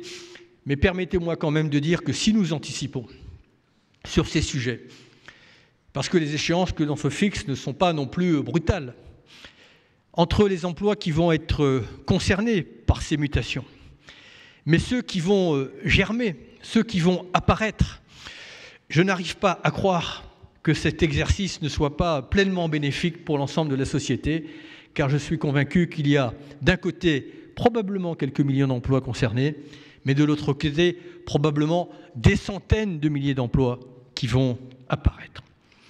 Votre avis le souligne, les compétences dévolues aux élus locaux en matière de développement durable n'ont cessé de se renforcer, ça a été évoqué tout à l'heure. Aujourd'hui, les, élus locaux sont des acteurs incontournables de cette transition écologique et solidaire. Une autre raison rend cruciale notre action au niveau euh, territorial, c'est la nécessité de traduire nos ambitions climatiques dans le cadre de vie quotidien des Françaises et des Français. Nous avons choisi pour les contrats de transition écologique de travailler avec les intercommunalités, choix que vous confortez visiblement dans votre propre avis, en attirant à juste titre notre attention sur l'intégration des régions. Donc je vous le confirme donc, nous proposerons aux régions, comme vous le proposez, de co-signer les contrats de transition écologique quand elles le souhaiteront. Vous le proposez, je vous le confirme, chaque contrat de transition écologique comprendra un volet social qui organisera à l'échelle d'un bassin d'emploi la mobilisation de tous les acteurs de l'emploi, entreprises, chambres de commerce, chambres d'agriculture, chambres de métiers et d'artisanat, l'OPCA, le GRETA, le Pôle emploi, les associations d'aide et d'accompagnement aux demandeurs d'emploi, etc. Ce volet social, évidemment, il n'est pas exclusif d'une réflexion au niveau des filières. Comme le relève votre avis, l'approche territoriale et l'approche transversale, que cette dernière soit par métier, par filière ou par branche, se complètent. C'est une véritable matrice que nous voulons créer pour construire la dimension inclusive de notre action. Quelles que soient les séquences, c'est un point fondamental dans notre méthode. Il n'y a pas et il ne peut pas y avoir de progrès écologique sans progrès social. Je sais que je plaide devant des convaincus, mais c'est bien de le réaffirmer parce que parfois, curieusement, le doute persiste. Nous comptons mettre en œuvre ce principe dans les territoires en nous appuyant notamment sur déjà ce qui a été fait en la matière, car comme ça a été rappelé par Monsieur le maire tout à l'heure, les territoires ont déjà pris un certain nombre d'initiatives dont nous pouvons d'ailleurs nous inspirer. Vous citez les contrats de revitalisation des sites de défense. Vous savez l'ensemble des actions qui ont été menées quand certains territoires, justement, ont été touchés par la fermeture de sites militaires un peu partout sur notre territoire et qui démontrent que l'État et l'ensemble des acteurs concernés peuvent, quand ils se mettent ensemble et quand ils anticipent un peu, ils peuvent construire ensemble des projets d'avenir qui soient pérennes et qui soient viables. Ce volet se destinera évidemment en premier lieu vers euh, les quatre territoires qui, en France métropolitaine, sont directement, dans un premier temps, concernés par l'arrêt de production d'électricité à partir du, charbon, parce que ça, c'est l'échéance, je dirais, la plus euh, rapide, puisque, comme vous le savez, à l'horizon de 2022, nous allons fermer les centrales à charbon. Ces quatre territoires, Cordonnay, Le Havre, Gardanne et Saint-Avold, vont faire évidemment, dès maintenant, l'objet d'une attention particulière, impliquant notamment mes collègues des ministères de l'économie et du travail. Mais il me semble important, évidemment, de ne pas cantonner et de ne pas limiter euh, la transition écologique à ces simples situations, car nous avons beaucoup à apprendre des territoires. Je pense notamment à ceux qui s'inscrivent dans une démarche 100% énergie renouvelable, à ceux qui, par ailleurs, s'interrogent sur la mobilité de demain, ou encore à ceux qui recréent du lien entre les espaces ruraux et urbains, par exemple en investissant le champ qui m'est cher de la restauration collective, notamment à partir de produits locaux, de saison et de qualité. Notre ambition, c'est de nous appuyer sur ces exemples positifs et sur les exemples les plus difficiles pour structurer de véritables projets de territoire. C'est dans cet état d'esprit que l'Agence nationale pour la cohésion des territoires, qui a été euh, voulue par le président de la République dans le cadre de la conférence nationale des territoires, vous apportera les réponses que vous attendez. J'entends aussi les innovations construites par certains territoires et qui mériteraient d'être déployées à une échelle beaucoup plus large. Vous mentionnez les formules de financement participatif où vous faisiez tout à l'heure référence aux exemples néerlandais de Green Deal.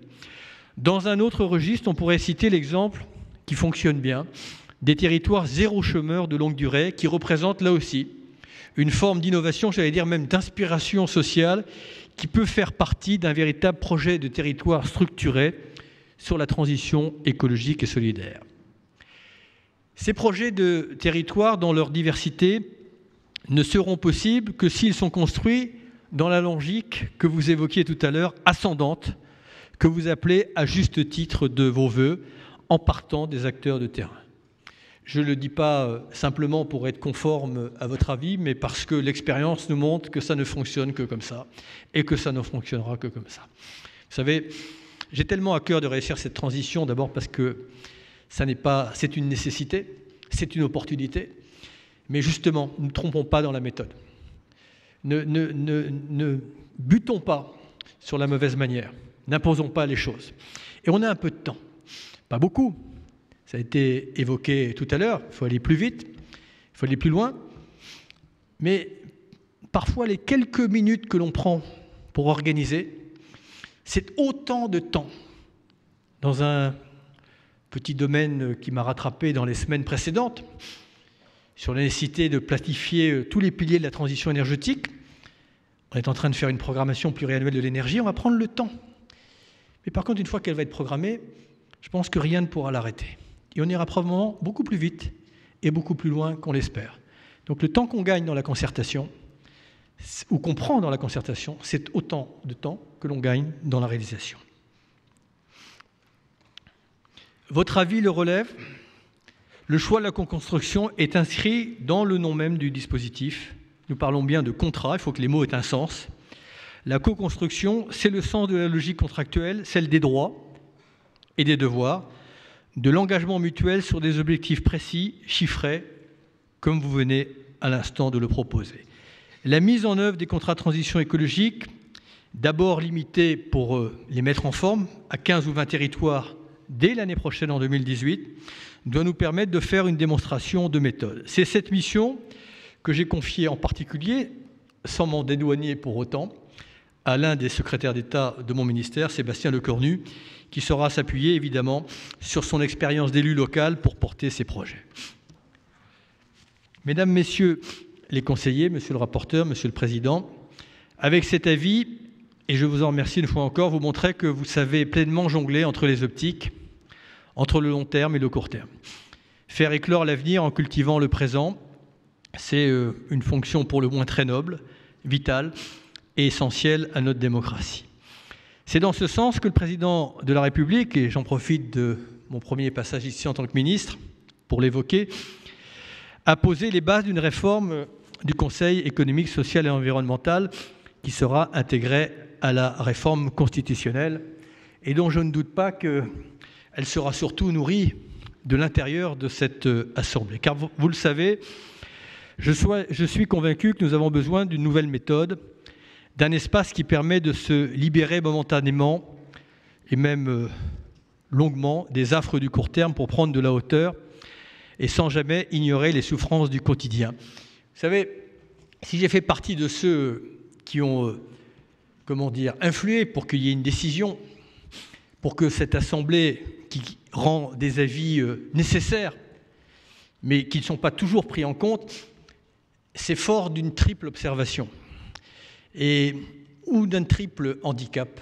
dans notre démocratie. D'abord, effectivement, l'intrusion du long terme, qui s'est un peu brutalement invitée euh, dans notre champ de vision. La deuxième chose, c'est l'accélération du temps. En tant que ministre depuis six mois, je peux vous dire que l'accélération du temps, c'est-à-dire décider dans la précipitation et la réaction et pas tant dans la prospection, c'est quelque chose dont je m'aperçois mais dont je n'avais pas pris l'ensemble de la plénitude et de pouvoir avoir quelque part, et notamment ici, une assemblée apaisée, documentée, qui puisse permettre d'avoir l'horizon long, je pense que c'est le meilleur service que l'on puisse rendre à la démocratie. Et puis la troisième chose, c'est qu'il n'aura échappé, échappé à personne qu'il y a une désynchronisation qui s'est faite au fil du temps, dont nous sommes souvent victimes, c'est la désynchronisation entre la science et l'inconscience. Et je suis certain que cette Assemblée pourra peut-être nous permettre de resynchroniser la science et la conscience. Voilà, simplement vous dire que cet élan, vous savez, impulsé avec des avis de ce type, il ne doit pas s'arrêter. Et je compte sur vous pour participer justement à ce débat qui vous concerne au premier rang sur le fonctionnement et le rôle de nos institutions. Merci de m'avoir écouté.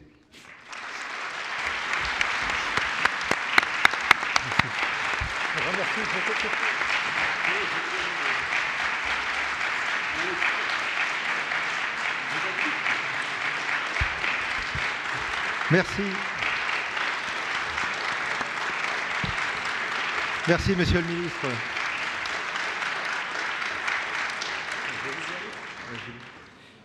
Je vais appeler donc euh, les groupes à venir s'exprimer. J'appelle Monsieur Christian Chevalier du groupe euh, de l'UNSA.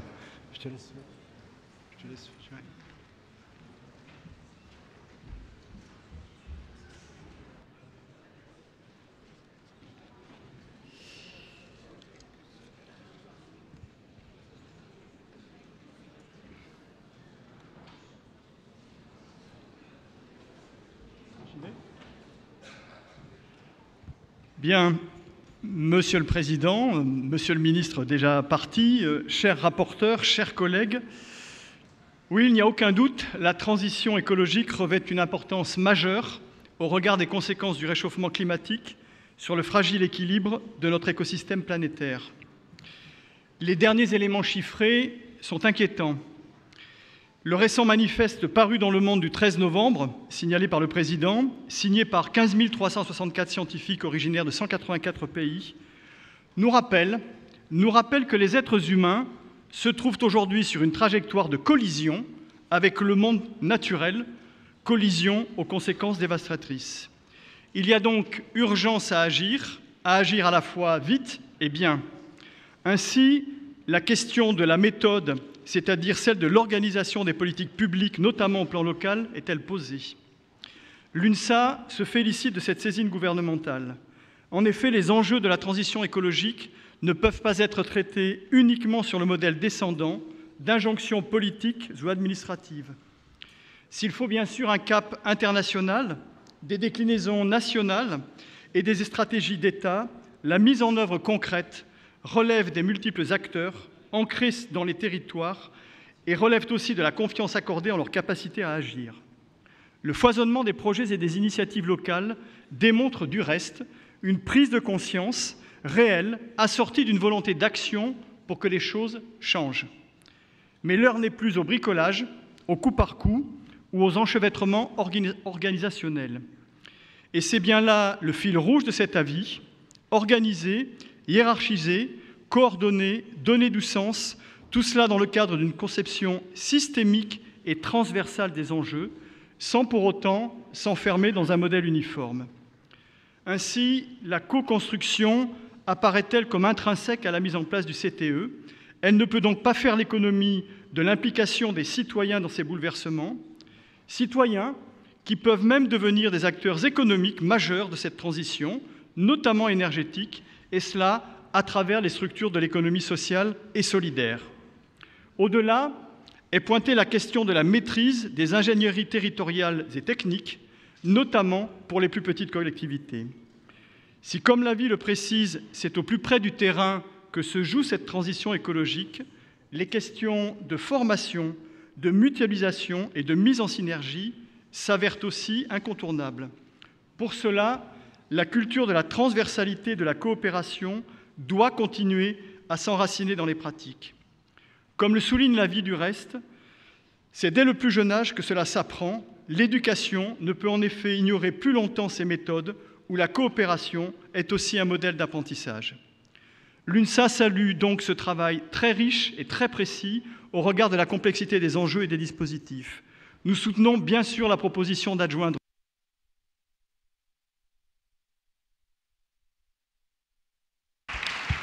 Merci, merci. Je vais appeler M. Thierry Coué pour le groupe de l'agriculture.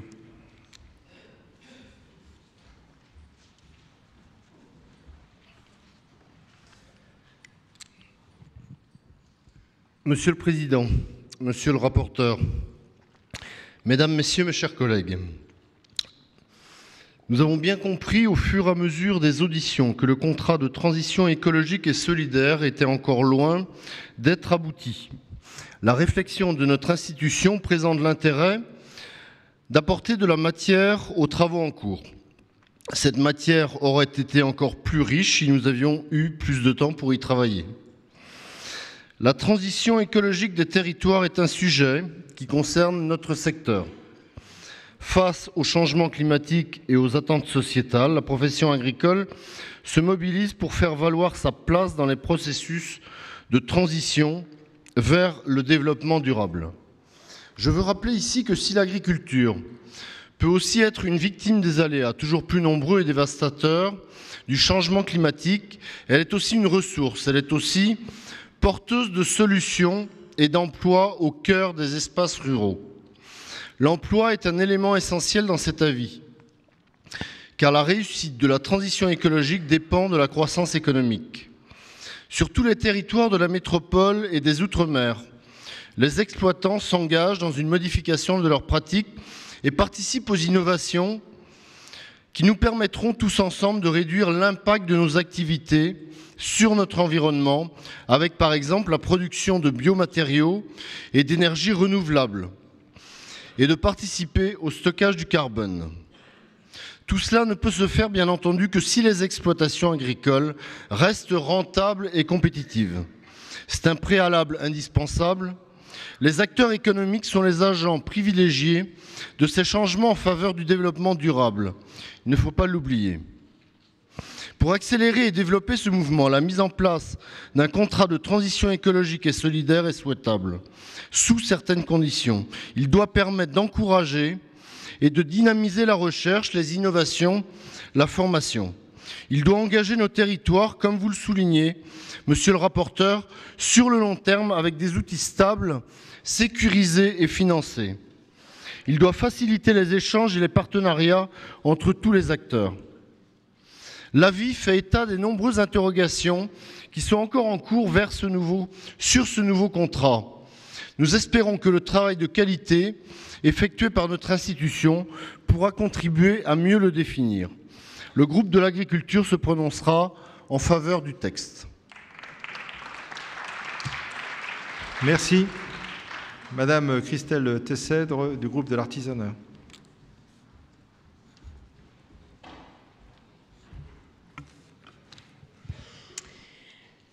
De, très nombreuses collectivités ont déjà impulsé et mis en œuvre de manière volontaire des démarches concrètes en faveur de la transition écologique. Les chambres des métiers sont souvent des partenaires de projets favorables au développement de l'économie circulaire aux côtés des régions et de l'ADEME.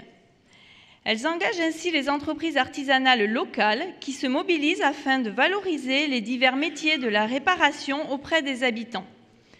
Le gouvernement souhaite aujourd'hui mettre en place un nouvel outil, le contrat de transition écologique et solidaire. C'est dans ce contexte que le CESE a été sollicité pour identifier un certain nombre de critères permettant d'assurer l'efficacité de cet outil. L'avis s'est nourri des expériences conduites dans les territoires et a essayé d'en identifier les points forts ou les faiblesses pour formuler ses propositions. Le pragmatisme de cette démarche mérite d'être souligné car l'enjeu est bien de donner un caractère opérationnel aux outils sur lesquels les collectivités pourront s'appuyer pour mener durablement leur territoire vers la transition écologique. Parmi les critères de réussite des futurs CTES recensés par la vie, nous retenons deux axes en particulier. Tout d'abord, inscrire le CTES autour d'un véritable projet de territoire prenant en compte ses spécificités économiques, sociales, ses contraintes et ses opportunités d'évolution. Une telle approche est fondamentale car elle permet de partir du terrain et de mettre le CTES au service du territoire en déterminant les actions les plus adaptées aux réalités locales. Cette approche favorise aussi la transversalité et donc l'implication de l'ensemble des secteurs d'activité, permettant ainsi la mobilisation d'une diversité d'acteurs du territoire. Puis en, en cohérence avec ces objectifs, l'avis appelle à associer le plus largement possible tous les acteurs locaux, représentants de l'État et la collectivité, monde économique, associations et citoyens. L'avis souligne en effet l'importance de co-construire le projet de territoire avec toutes ses parties prenantes et de s'appuyer sur le CTES pour les fédérer et les coordonner comme pour leur donner un cadre d'action visible et stable. Les bénéfices à attendre de cette méthode partenariale sont nombreux. À la fois, susciter l'adhésion des acteurs locaux et des habitants aux objectifs du projet, mais également favoriser leurs engagements dans sa mise en œuvre, tant au niveau des actions que des financements de ces comportements. Pour conclure, l'artisanat votera la vie. Nous ajouterons que nos entreprises de l'artisanat, dont les activités s'inscrivent autour de la valorisation de l'économie circulaire et des circuits de proximité, et qui se caractérisent par leur ancrage fort dans les territoires, pourraient être de véritables partenaires des futurs CTES.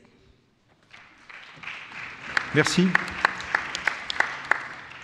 Monsieur Philippe Jassan, pour le groupe des associations et aussi organisations étudiantes et mouvements de jeunesse, vous avez six minutes, Monsieur Jassan. Merci, Monsieur le Président. S'inscrivant dans la continuité de l'accord de Paris et des objectifs de développement durable, ce projet d'avis vise à favoriser le meilleur déroulement opérationnel de la transition écologique à l'échelon local. Le contrat de transition écologique et solidaire peut-il être le nouvel instrument de cette ambition? Oui, à quelques conditions. Tout d'abord, la responsabilité de l'État dont on peut attendre quatre fonctions essentielles. Qu'il porte une vision stratégique, ambitieuse, claire et globale, et de long terme, fixant l'horizon et la trajectoire pour l'atteindre. Qu'il assure la cohérence globale de toutes les politiques publiques avec les différents impératifs de la transition écologique, et notamment entre les échelles géographiques qu'il soit garant d'une approche partenariale, multi-acteurs, ascendante et du dépassement de la grande complexité des enchevêtrements territoriaux dont rencontre la vie, ainsi que le manque d'articulation ou de clarté dans la répartition des compétences, afin que les contrats s'appuient sur l'existant plutôt que de s'y ajouter comme une nouvelle strate. Qu'il assure enfin les financements nécessaires à la concrétisation des contrats et qu'il soit à la hauteur des enjeux, notamment l'idée de création du fonds euh, euh, peut être retenu dans ce cadre-là. Ensuite, concernant le CTES lui-même, oui, il doit être porteur d'un véritable projet de territoire et non d'un territoire de projet comme le, le précise l'avis et qui soit bâti autour d'une vision systémique. Nous partageons ainsi sans réserve l'ensemble des conditions cadres posées par le projet d'avis. Deux conditions ont retenu notre attention. Un outil pérenne s'articulant avec les schémas et plans existants et offrant une visibilité de long terme aux acteurs et la nécessaire approche intégrée, par conséquent, dont il faut le doter. En ce sens, le CTES doit être porteur de cette transformation de la gouvernance publique qu'appelle également l'agenda 2030 du développement durable. Approche territoriale et partenariale, décloisonnement intersectoriel, approche pluriacteur, participation citoyenne et projection dans le temps long pour anticiper les transformations, pour donner de la prévisibilité aux acteurs économiques et permettre les reconversions nécessaires. Aussi, nous considérons fondamentale la pleine participation de l'ensemble des parties prenantes dans la définition et l'application des contrats de transition écologique et solidaire. Cela dans une approche ascendante et co-construite avec les acteurs locaux pour nourrir un diagnostic partagé du territoire avant d'envisager des projets partagés. La pratique des plans climat, air, énergie territoriaux peut être citée en exemple dans ce cadre. Moteur de la transition écologique, l'expérimentation et l'innovation pratiquée au niveau local gagneraient à être encouragées et développés suivant les atouts spécifiques de chaque territoire. Le projet d'avis a raison également d'insister sur le déploiement indispensable dans les Outre-mer, territoire très directement touché par le changement climatique.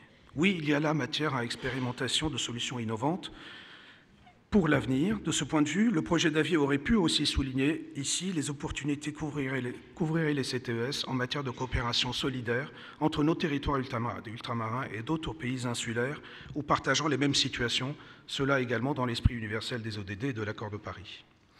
Nous souhaitons enfin attirer l'attention sur un point qui ne peut qui ne doit pas être perdu de vue. Aucun plan, aucune concertation ne peuvent suffire et durer s'ils ne sont pas portés par une conscience citoyenne solide des nécessités de la transition et d'un changement de comportement individuel et collectif. Aussi, les pouvoirs publics ne doivent-ils pas négliger la part de l'éducation au développement durable et de la formation tout au long de la vie dans ce contexte? Le soutien aux milliers d'associations qui, informent, alertent, sensibilisent ou éduquent et mettent en dialogue ces problématiques d'intérêt général ne doit pas fléchir. L'ensemble de ces actions œuvrent à l'éveil des consciences, animent le débat démocratique et participent de la transformation concrète de notre société. Ce sont les actions de long terme, moins visibles certes, mais néanmoins tout aussi importantes pour soutenir des contrats de transition mieux appropriés. Or, les tissus locaux qui portent ces projets sont souvent fragilisés par des, revirements, par des revirements publics ou politiques qui cadrent mal avec les enjeux de long terme qu'ils investissent et qui nécessitent stabilité et visibilité au même titre que les contrats. Aussi, ces actions d'éducation et de formation ne doivent pas être uniquement réservées aux jeunes, qui sont l'avenir, certes, mais qui doivent être destinées à chaque citoyen qui dispose de plus en plus de leviers pour participer également activement à la transition écologique et solidaire. Pour ce projet d'avis qui traite d'une des questions essentielles de notre siècle, si ce n'est la question essentielle, nos deux groupes euh, souhaitent remercier le rapporteur et la section pour le travail réalisé en un temps contraint, cela a été dit, le groupe des organisations étudiantes et mouvements de jeunesse, ainsi que le groupe des associations, voteront en faveur du projet d'avis. Merci. Merci. Monsieur Marc Blanc pour le groupe CFDT.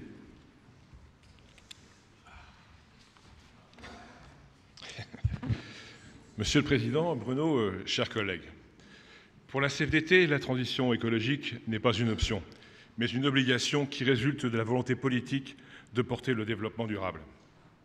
Elle s'inscrit dans la stratégie nationale de transition écologique vers un développement durable. Sa mise en œuvre a entraîné une implication de l'ensemble des acteurs, collectivités locales, secteur privé, État, mais elle est aussi euh, actuellement insuffisante au regard des enjeux, notamment pour réduire les émissions de CO2 ou pour préserver la biodiversité. Le premier objectif euh, du CTE sera d'être fédérateur et donc de démultiplier l'implication des acteurs de la société. Il devra aussi donner à chacun le pouvoir d'agir pour un nouveau modèle de société plus sobre qui associe progrès social, écologique et économique. Le le second objectif du CTE sera d'être solidaire. La transition écologique sera une opportunité en termes de développement économique, de nouvelles filières d'activité et de création d'emplois. A contrario, certains secteurs économiques seront fragilisés, voire abandonnés. Ces situations ne doivent pas entraîner des drames humains ou écologiques suivant les choix retenus. Le contrat de transition écologique et solidaire doit permettre l'acceptation sociétale qu'impose ce nouveau modèle de développement. Pour cela, l'anticipation, la concertation avec l'ensemble des acteurs au niveau local devront être activées en permanence. La vie propose plusieurs outils déjà testés qui ne demandent qu'à être déployés. La prise en compte des transitions professionnelles est centrale compte tenu des arrêts ou réductions d'activité, centrales à charbon et centrales nucléaires, et des besoins de nouveau, euh, de nouveau en énergie renouvelable et en rénovation thermique. Prévue dans la loi de transition énergétique, sa mise en œuvre devient urgente.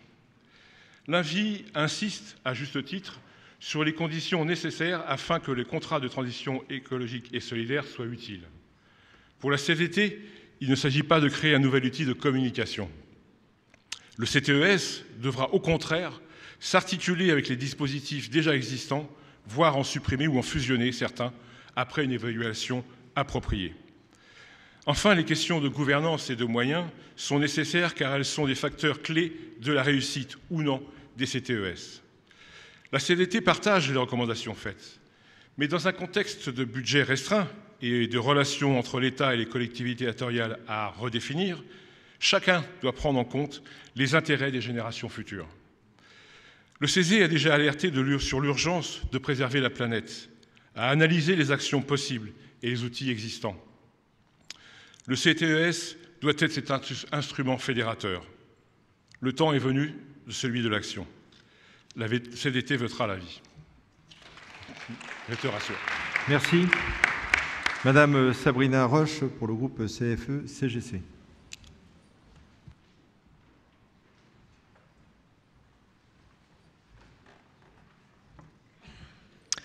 Bonjour Mesdames et Messieurs. Le groupe CFE-CGC tient tout d'abord à saluer le travail de la section environnement et de son rapporteur sur un sujet aussi sensible que stratégique. Des intérêts divergents ont su être conciliés dans le respect et la prise en considération de l'ensemble des acteurs locaux, aussi bien économiques, locaux, environnementaux, tant publics que privés.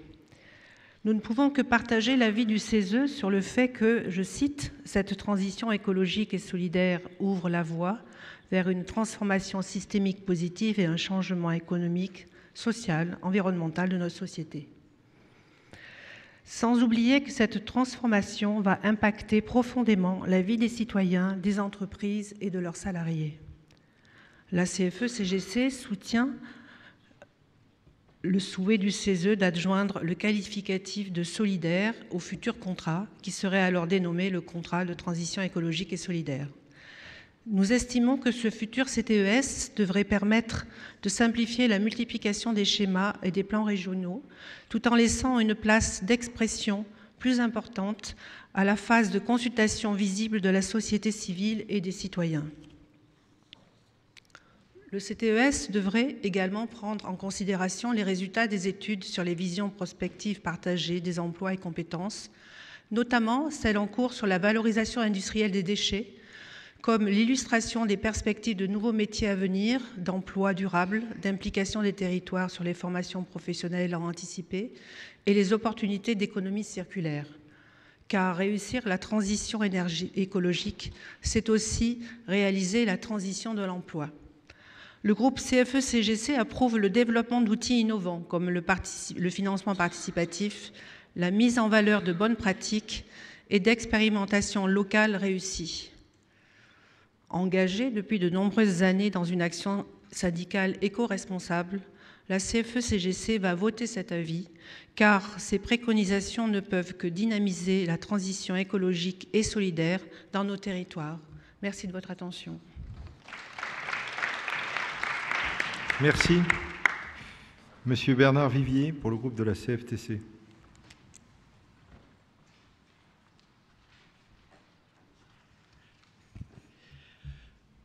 Notre économie, nos productions de biens et services, nos usages, nos consommations doivent contribuer à un développement durable, moins énergivore, respectueux du lieu de vie pour les habitants d'aujourd'hui et de demain.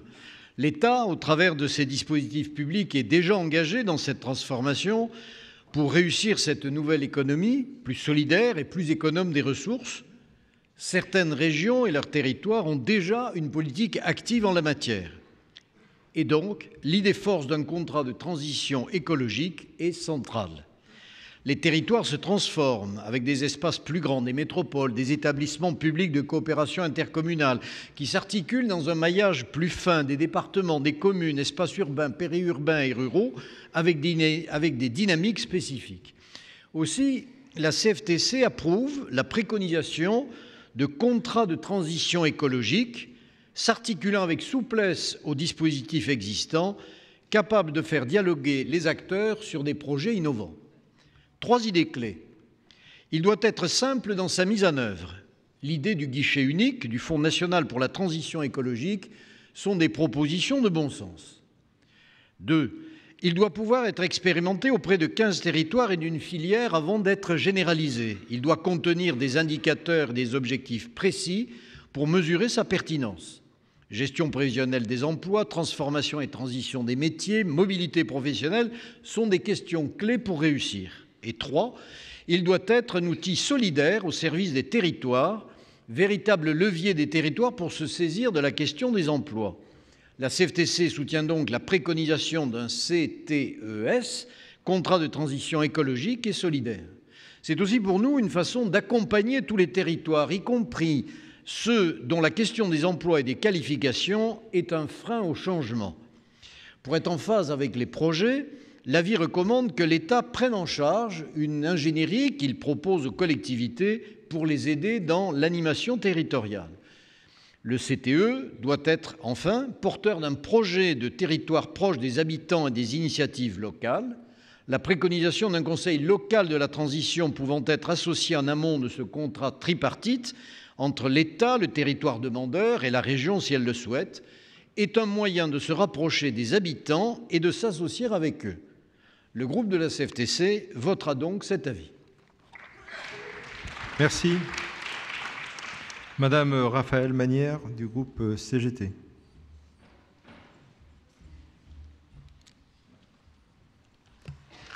Bonjour.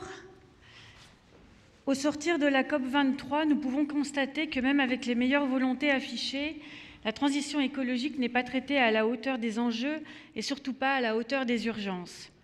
Quand on ne parle pas de recul, on constate que les avancées ne sont pas assez rapides et se heurtent à toutes sortes de blocages, ne permettant pas une généralisation des processus. En France, c'est en partant de ce constat que le gouvernement porte notamment son projet de contrat de transition écologique. Ce contrat est présenté comme élément d'ambition pour accompagner les territoires dans tous les aspects de la transition écologique y compris les mutations économiques et sociales. L'intention, si bonne soit-elle, ne doit cependant pas conduire à, recourir à un outil d'opportunité pour gérer des situations particulières sur une quinzaine de territoires démonstrateurs avec une éventuelle généralisation à plus long terme, sans cohérence d'ensemble, notamment en termes de développement économique des territoires et sans moyens suffisants. Le CTES ne doit pas être un contrat de vitrine pour faire passer la pilule des fermetures de sites avec un traitement au cas par cas pour les salariés et les territoires concernés, qui plus est, dans un contexte de remise en cause de notre modèle social et solidaire. Ceci ne va pas dans le sens du projet intégré de la CGT d'un développement humain durable. L'axe général du projet d'avis qui consiste à envisager le CTES comme systémique et solidaire lui confère une autre envergure.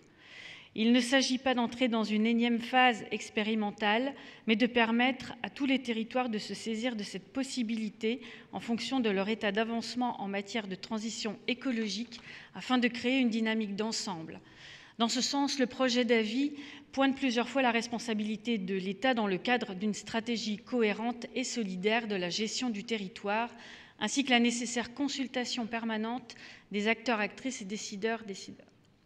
L'inclusion d'objectifs intégrés dans le cadre du contrat, les préconisations sur les transitions professionnelles incluant un volet formation-emploi, la nécessaire présence d'antennes territoriales des services de l'État et des établissements publics, notamment en ingénierie publique, ainsi que les besoins et moyens de financement vont dans le bon sens et justifient l'atout du terme solidaire dans le libellé. Euh, par contre, le temps nous aura manqué pour approfondir et détailler certaines des pistes, notamment celles concernant la gouvernance, le rôle et l'implication de chaque collectivité dans le processus. Il aura également manqué aux rapporteurs, à la présidente de section, aux administrateurs, mais à nous-mêmes euh, qui ont travaillé dans l'urgence. Bref, nous vous remercions vivement pour ce travail. La CGT votera pour l'avis. Merci. Merci. Madame euh, Martine De Robert pour le groupe CGT FO.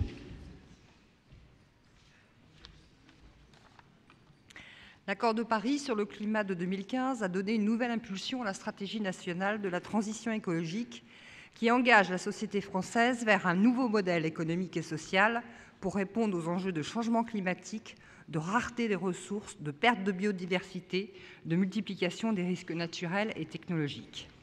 Il ne s'agit pas d'une correction à la marge de la trajectoire, mais bien d'une transformation profonde du modèle économique et social actuel pour aller vers un nouveau modèle qui oscille qui oscille entre croissance et décroissance. Les modes de production énergétique et industrielle, la mobilité, le logement, l'agriculture sont tous appelés à être renouvelés. Cette mutation va provoquer des bouleversements importants sur certaines activités économiques et sur les emplois. Le groupe FO salue la qualité de ce travail et adhère à l'idée que tout projet de développement durable doit s'inscrire dans une approche systémique qui va au-delà de la seule prise en compte des acteurs à impliquer, afin de penser l'ensemble des dimensions que de tels projets englobent, qu'elles soient sociales, économiques, professionnelles ou autres. Cet avis aborde particulièrement la question du contrat de transition écologique en y ajoutant la dimension de solidarité.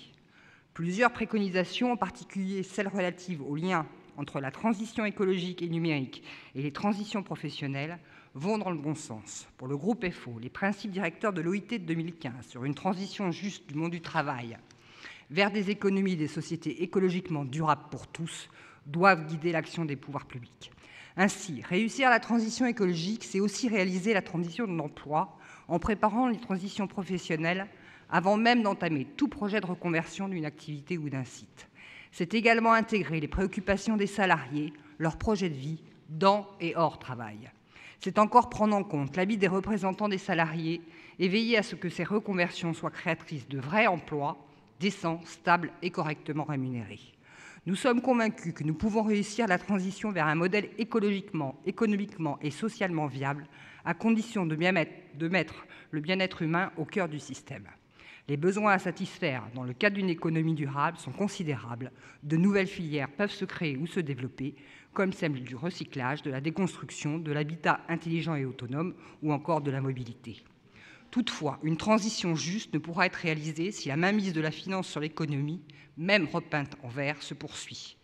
Enfin, le groupe FO réfute la pertinence du schéma de gouvernance proposé qui, dans le cadre d'une politique de décentralisation croissante, constituerait une nouvelle étape vers la régionalisation de l'État, telle qu'elle a été préfigurée dans la loi NOTRe ou encore la loi de transition écologique vers une croissance verte. Pour le groupe FO, si la transition écologique et solidaire trouve nécessairement à se décliner localement, sa définition, sa coordination et son financement doivent rester du ressort national pour éviter une déclinaison différenciée dans les territoires. Malgré cette réserve, le groupe FO votera l'avis. Merci. Madame Véronique Blin pour le groupe de la coopération.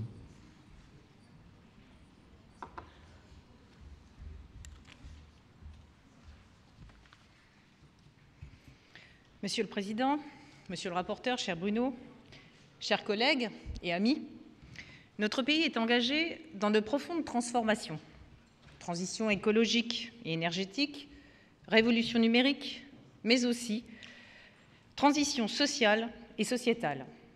Leur réussite dépendra en partie de la mobilisation des acteurs de terrain au sein de projets partagés à l'échelle locale. Alors que de nombreux contrats, plans et dispositifs existent déjà, le gouvernement souhaite mettre en place un nouvel outil, le contrat de transition écologique. Celui-ci devra répondre à certaines conditions présentées dans le projet d'avis. Simplicité, souplesse, stabilité et sécurité des financements.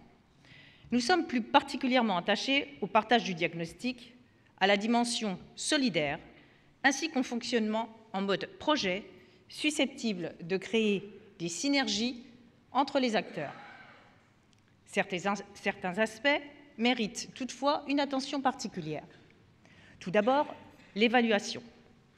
Pour que le contrat de transition écologique n'apparaisse pas comme un outil de plus, il nous semble indispensable d'évaluer les dispositifs existants et d'effectuer des retours d'expérience pour permettre d'adapter au mieux les projets, des bilans intermédiaires ainsi que des indicateurs de suivi mesurables doivent être envisagés puis mis en place.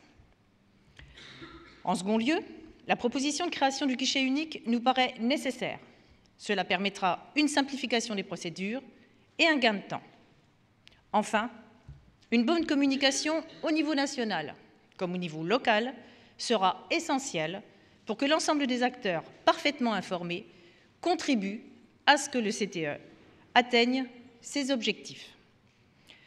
Dans le cadre de ce nouveau contrat, les coopératives sont prêtes à préparer l'avenir et à jouer un rôle de mise en relation et d'accompagnement de leurs adhérents. Les transitions environnementales, énergétiques et numériques en cours peuvent être transformées en sources de valeur et de différenciation. Ce sont des opportunités d'innovation que nous serons en mesure de saisir. Conscient de ces enjeux, la transition sera d'ailleurs le thème du congrès de la coopération agricole qui se déroulera en fin d'année sous l'intitulé Les coopératives agricoles au cœur d'un monde en transition. Vous l'aurez bien compris à l'écoute de mes propos, le groupe de la coopération se positionnera en faveur de la vie. Merci. Monsieur Philippe Dutruc du groupe Entreprise. Monsieur le Président, Monsieur le rapporteur, si nous voulons que la transition écologique devienne efficiente, il faut qu'elle s'incarne dans le quotidien et donc dans les territoires. Dans ce domaine, nous ne partons pas d'une feuille blanche. Beaucoup d'initiatives ont été prises, de nombreuses expérimentations ont été faites dans nombre de domaines.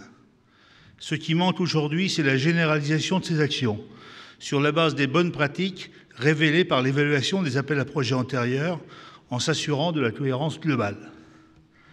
Le fait que l'État contractualise avec les collectivités locales sera un catalyseur, sous réserve que certaines conditions soient respectées.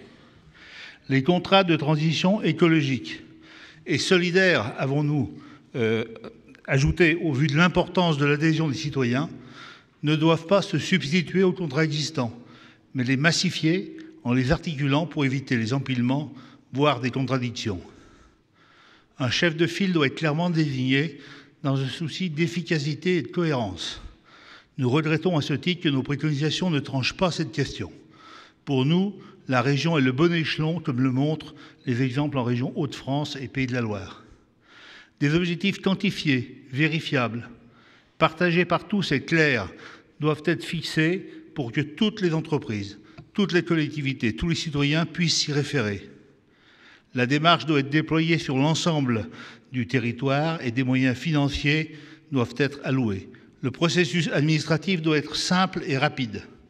L'expérimentation doit être réservée aux domaines innovants et un effort particulier doit être fait pour évaluer les résultats de ces projets avant leur généralisation éventuelle. Au terme de cet avis traité en trop peu de temps, nous regrettons sa longueur et le nombre de ces préconisations qu'il faut ressembler à un catalogue de bonnes pratiques. Toutefois, sur ce sujet nouveau et complexe, nous avons su trouver un chemin qui concilie, dans nos recommandations les intérêts sociaux, économiques et écologiques. Plus que jamais, dans ce contexte d'acteurs multiples et de mise en place d'un nouvel outil, nous insistons sur la nécessaire évaluation a posteriori du dispositif. En tant que CESE, nous pourrons contribuer à ce processus en réalisant un avis de suite dans les deux ans de sa mise en œuvre. Compte tenu de l'ensemble de ces remarques et en invitant très fortement à les prendre en compte, il appartient désormais à l'État de faire de ce contrat un outil de simplification et d'efficacité pour l'ensemble de nos territoires. Le groupe des entreprises rappelle à cette occasion à quel point les entreprises sont un acteur indispensable de la transition écologique et vous l'aurez compris, votera cet avis. Merci. Monsieur Jean-David Abel pour le groupe Environnement et Nature.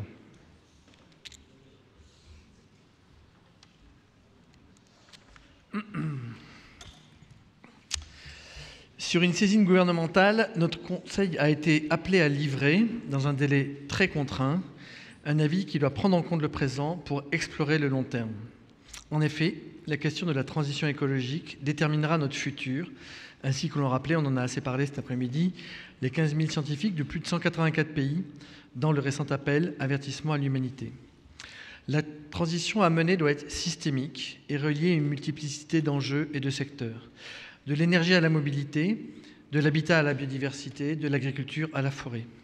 Elle exige l'ajustement de nos modèles alimentaires, la fin des gaspillages massifs de matières premières, la mise en place d'une économie circulaire, la lutte contre la pression urbaine, en particulier dans les territoires littoraux et insulaires.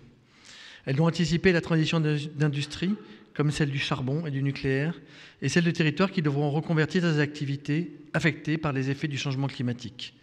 Cette transition, ça a été évoqué par beaucoup cet après-midi, passera par les collectivités, les territoires et l'implication des habitants qui initient déjà de nombreuses actions innovantes et souvent multipartenariales.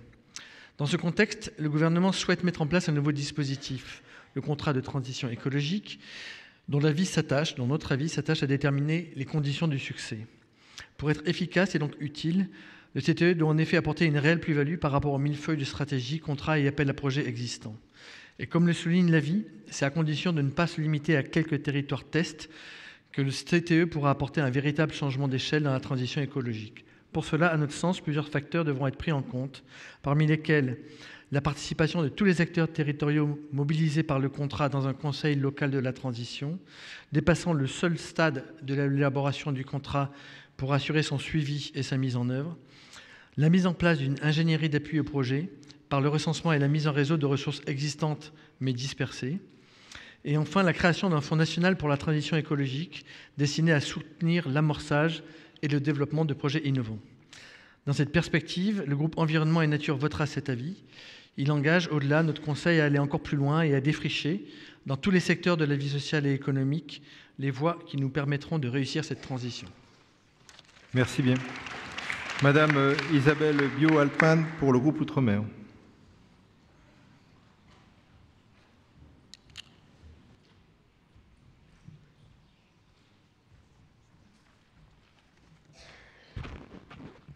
Monsieur le Président, Monsieur le rapporteur, chers collègues, alors que la France s'apprête à accueillir le One Summit Planet dans quelques jours, marquant le deuxième anniversaire des accords de Paris, ce projet d'avis répond à la nécessaire priorité de redéfinir l'approche entre l'État et les collectivités locales pour lutter plus efficacement contre le réchauffement climatique.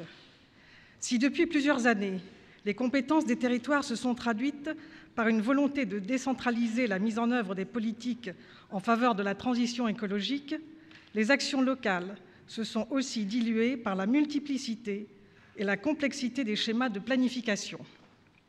Comment déployer un cadre uniforme et descendant si nous ne tenons pas compte des spécificités de chacune de nos régions? En effet, les défis de réindustrialisation que doivent relever la région des Hauts-de-France ne peuvent être les défis de la communauté urbaine de Montpellier, ni ceux des Outre-mer. C'est pourquoi le contrat de transition écologique et solidaire doit permettre de libérer les initiatives territoriales par un outil simplifié, transversal, mais surtout co-construit avec les acteurs locaux. Autrement dit, l'objectif ne doit plus consister à définir un cadre national dans lequel, les territoires doivent se fondre, mais d'évaluer les dispositifs existants pour construire des projets qui répondent aux besoins et aux spécificités de chaque territoire. Outre-mer, alors que se déroule actuellement un exercice participatif réunissant élus, socioprofessionnels, mais surtout les citoyens, nous sommes déjà dans la phase de diagnostic. Ainsi, à l'issue des assises des Outre-mer, le gouvernement disposera d'un état des lieux sur lequel il devra nécessairement s'appuyer pour construire les futurs cadres d'action avec un fléchage budgétaire et un volet en faveur de l'emploi. De plus, il faut également appeler les collectivités d'outre-mer, qui disposent de pouvoirs normatifs, à se saisir pleinement des prérogatives qui leur sont reconnues par la Constitution pour adapter le cadre législatif national aux réalités locales. L'avenir n'est pas ce qui va arriver, mais ce que nous allons faire. Et pour compléter cette citation de Bergson, il faut ajouter de ce que nous devons faire, car la nature ne négocie pas avec les hommes, nous devons nous adapter à elle.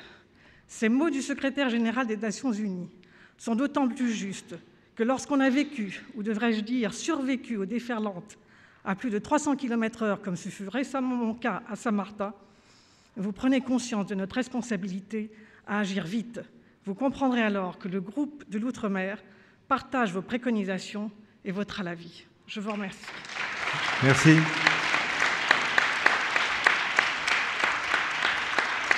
Madame euh, Annabelle Gère, pour le groupe, euh, du groupe Personnalité qualifiée.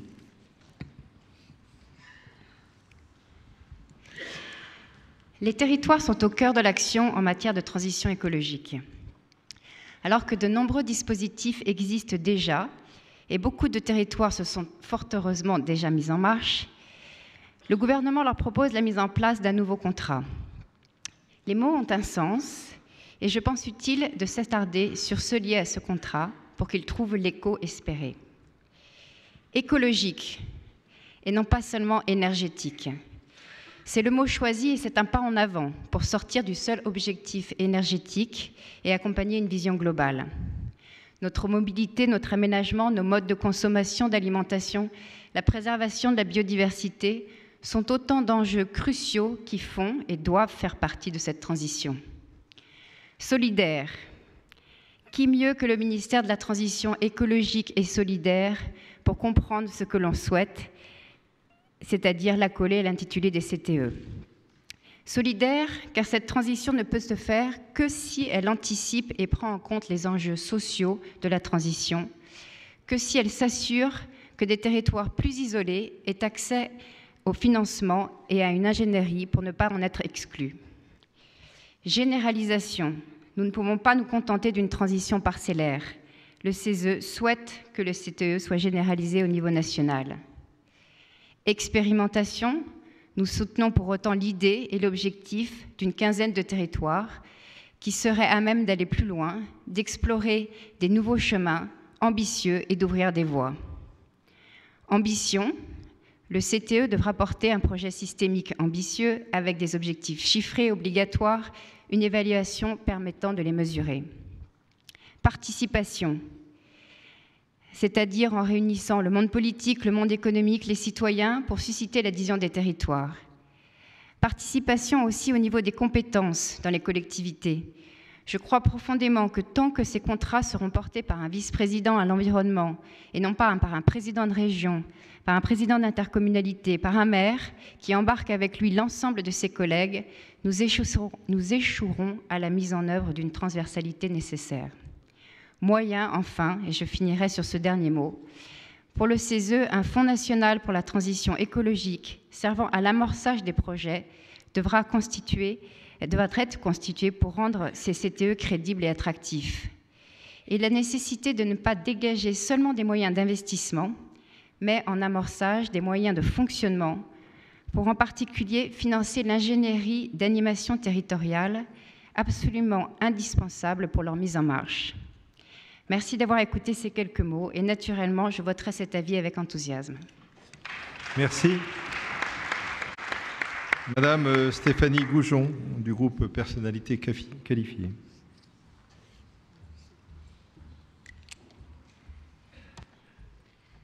Bonjour. Je voterai le présent avis car c'est un beau sujet, porteur d'un nouveau modèle, d'une économie plus douce, soucieuse de l'humain et de l'environnement. Il réussit en plus le pari de frayer un chemin au futur contrat de transition écologique et solidaire dans le foisonnement des dispositifs existants. En préambule, remarquons néanmoins que la dimension solidaire est surtout présente dans le titre, l'introduction et la conclusion, ce qui est bien. Mais elle aurait gagné à être davantage approfondie dans les préconisations. C'est pour moi une conviction profonde. L'environnemental et le social sont intimement liés. Comment garantir la pérennité de notre planète si on ne s'attache pas en même temps au bien-être de l'être humain Et comment garantir le bien-être de l'être humain si on ne s'attache pas en même temps à la pérennité de notre planète Et c'est encore plus flagrant à l'échelon local. Mais surtout, mon intervention a pour objet de rebondir sur l'importance que la vie souligne de doter les contrats de transition écologique et solidaire d'objectifs contraignants et corollairement d'outils de pilotage et d'indicateurs. C'est plus qu'important. C'est un prérequis pour qu'il ne devienne pas un dispositif de plus, pour sortir de la déclaration d'intention, car ce qui se mesure se corrige. À ce titre, je soumets pour les futurs CTES une proposition très concrète et qui ne coûterait pas plus d'argent à l'État. Cette idée est issue des travaux du mouvement des entrepreneurs sociaux. Il s'agit d'accélérer les flux économiques et sociaux entre les entreprises classiques qui souhaitent bénéficier des aides de l'État et les organisations de l'économie sociale et solidaire. Toute entreprise souhaitant bénéficier de fonds publics devrait présenter un reporting intégré et exploitable qui publierait tous les trois ans, par exemple, des indicateurs favorisant la transition écologique et solidaire sur le territoire. Ce pourrait être le taux de main-d'œuvre en insertion, le taux de déchets recyclés, le taux de réduction de leur consommation d'énergie, le taux de recours aux acteurs de l'économie sociale et solidaire, aux entreprises de l'économie circulaire, aux énergies renouvelables, aux circuits courts et aux écolabels. Une comparaison de ces indicateurs à des normes sectorielles devrait par ailleurs être rendue possible grâce à l'ITSE. En conclusion, je fais le vœu que les contrats de transition écologique et solidaire soient l'opportunité de rendre plus lisible et plus efficace le pilotage de ces actions locales pour le bien commun en se dotant très concrètement d'indicateurs de mesure d'impact. Car pour changer de modèle, il nous faudra changer de mesure. Merci de votre attention. Merci. Madame Dominique Riquier-Sauvage pour le groupe des professions libérales. Nous ne pouvons que saluer le travail fait dans un temps trop restreint par le rapporteur Bruno Duchemin. Bravo. Bravo aussi l'administration et bravo aussi Anne-Marie. Travail qui nous permet de passer aujourd'hui en plénière cet avis, avis que le groupe des professions libérales votera favorablement. Certains territoires confrontés à de profondes modifications de leur paysage industriel local ont été amenés à repenser leur avenir les élus locaux ont dû, le plus souvent, prendre la question à bras-le-corps, avec ou sans aide de l'État, s'inscrivant comme les précurseurs de la transition écologique et solidaire de leur territoire. Même si certains de ces territoires sont devenus aujourd'hui exemplaires dans leur démarche, au point que l'on vienne de l'étranger pour s'en inspirer, il est urgent aujourd'hui d'évaluer toutes les expérimentations faites et d'engager plus fortement une transition écologique et solidaire dans tous nos territoires. Pour ce faire, nos collectivités locales doivent avoir une vision prospective et dans ce sens mettre en place une approche systémique transversale plutôt que s'épuiser dans la recherche de financement. Cette approche transversale est fondamentale.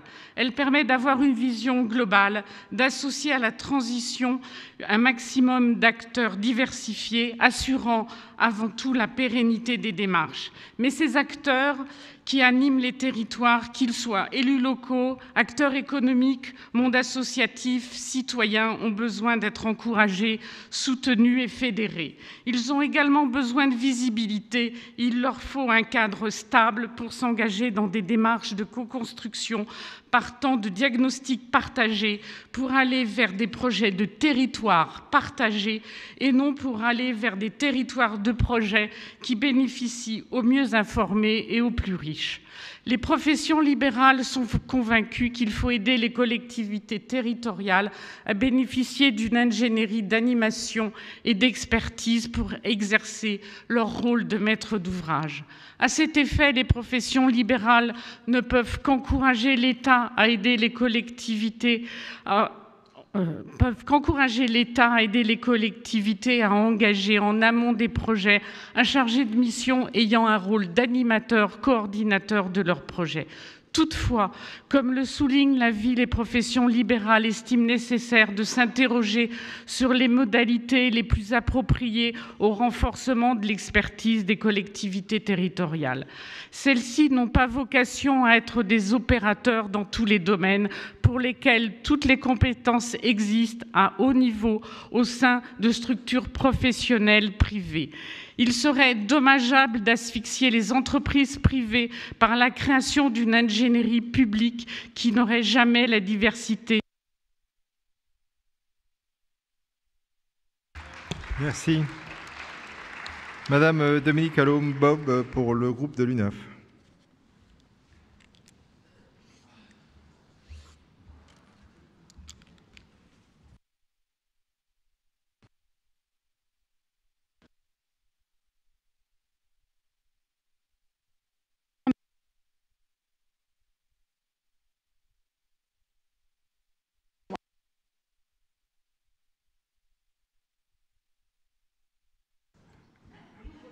On a besoin du micro.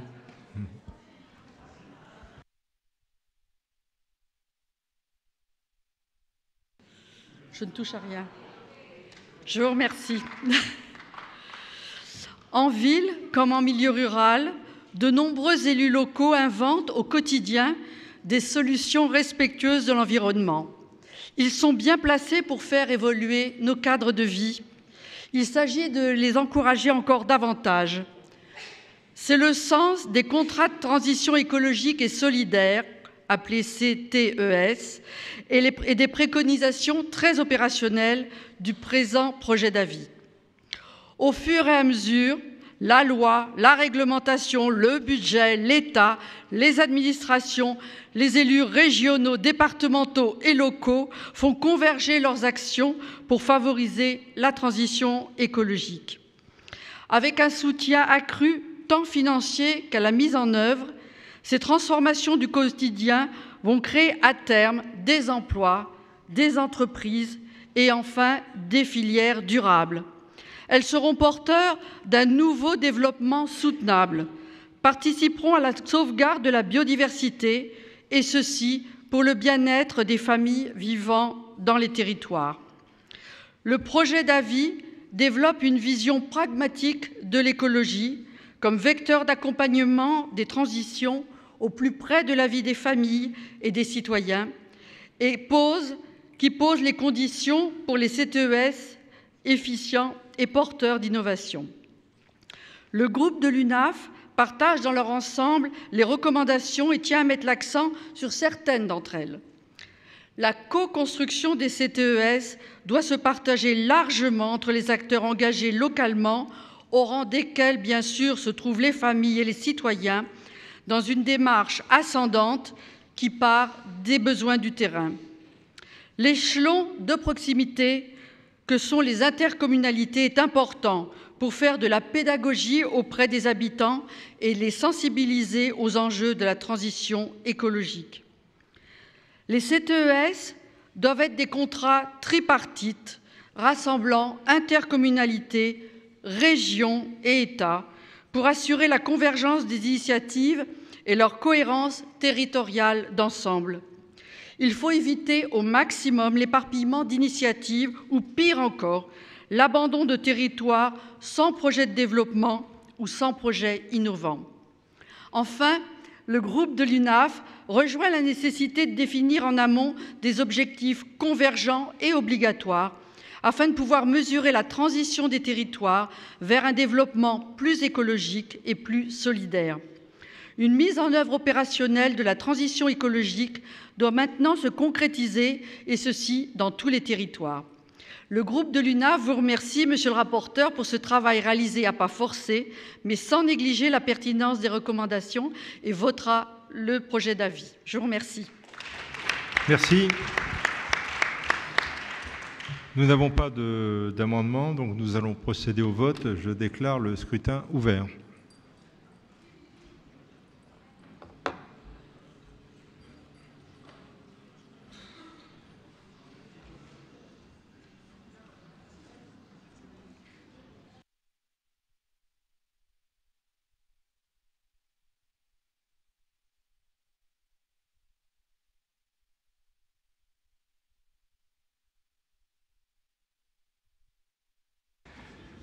Est-ce que tout le monde a voté?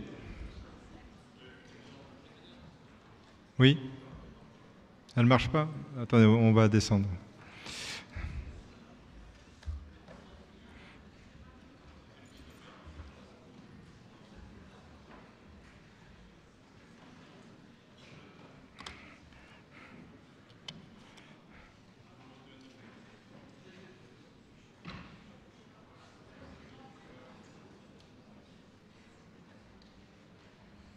C'est bon? On rajoutera le vote à ce moment-là, vous nous direz, on rajoutera le vote. Je vais donc proclamer, je déclare le scrutin clos. Et donc euh, le résultat va s'afficher pour 172, abstention 1. Voilà, l'avis est à vote. voté à la quasi-unanimité.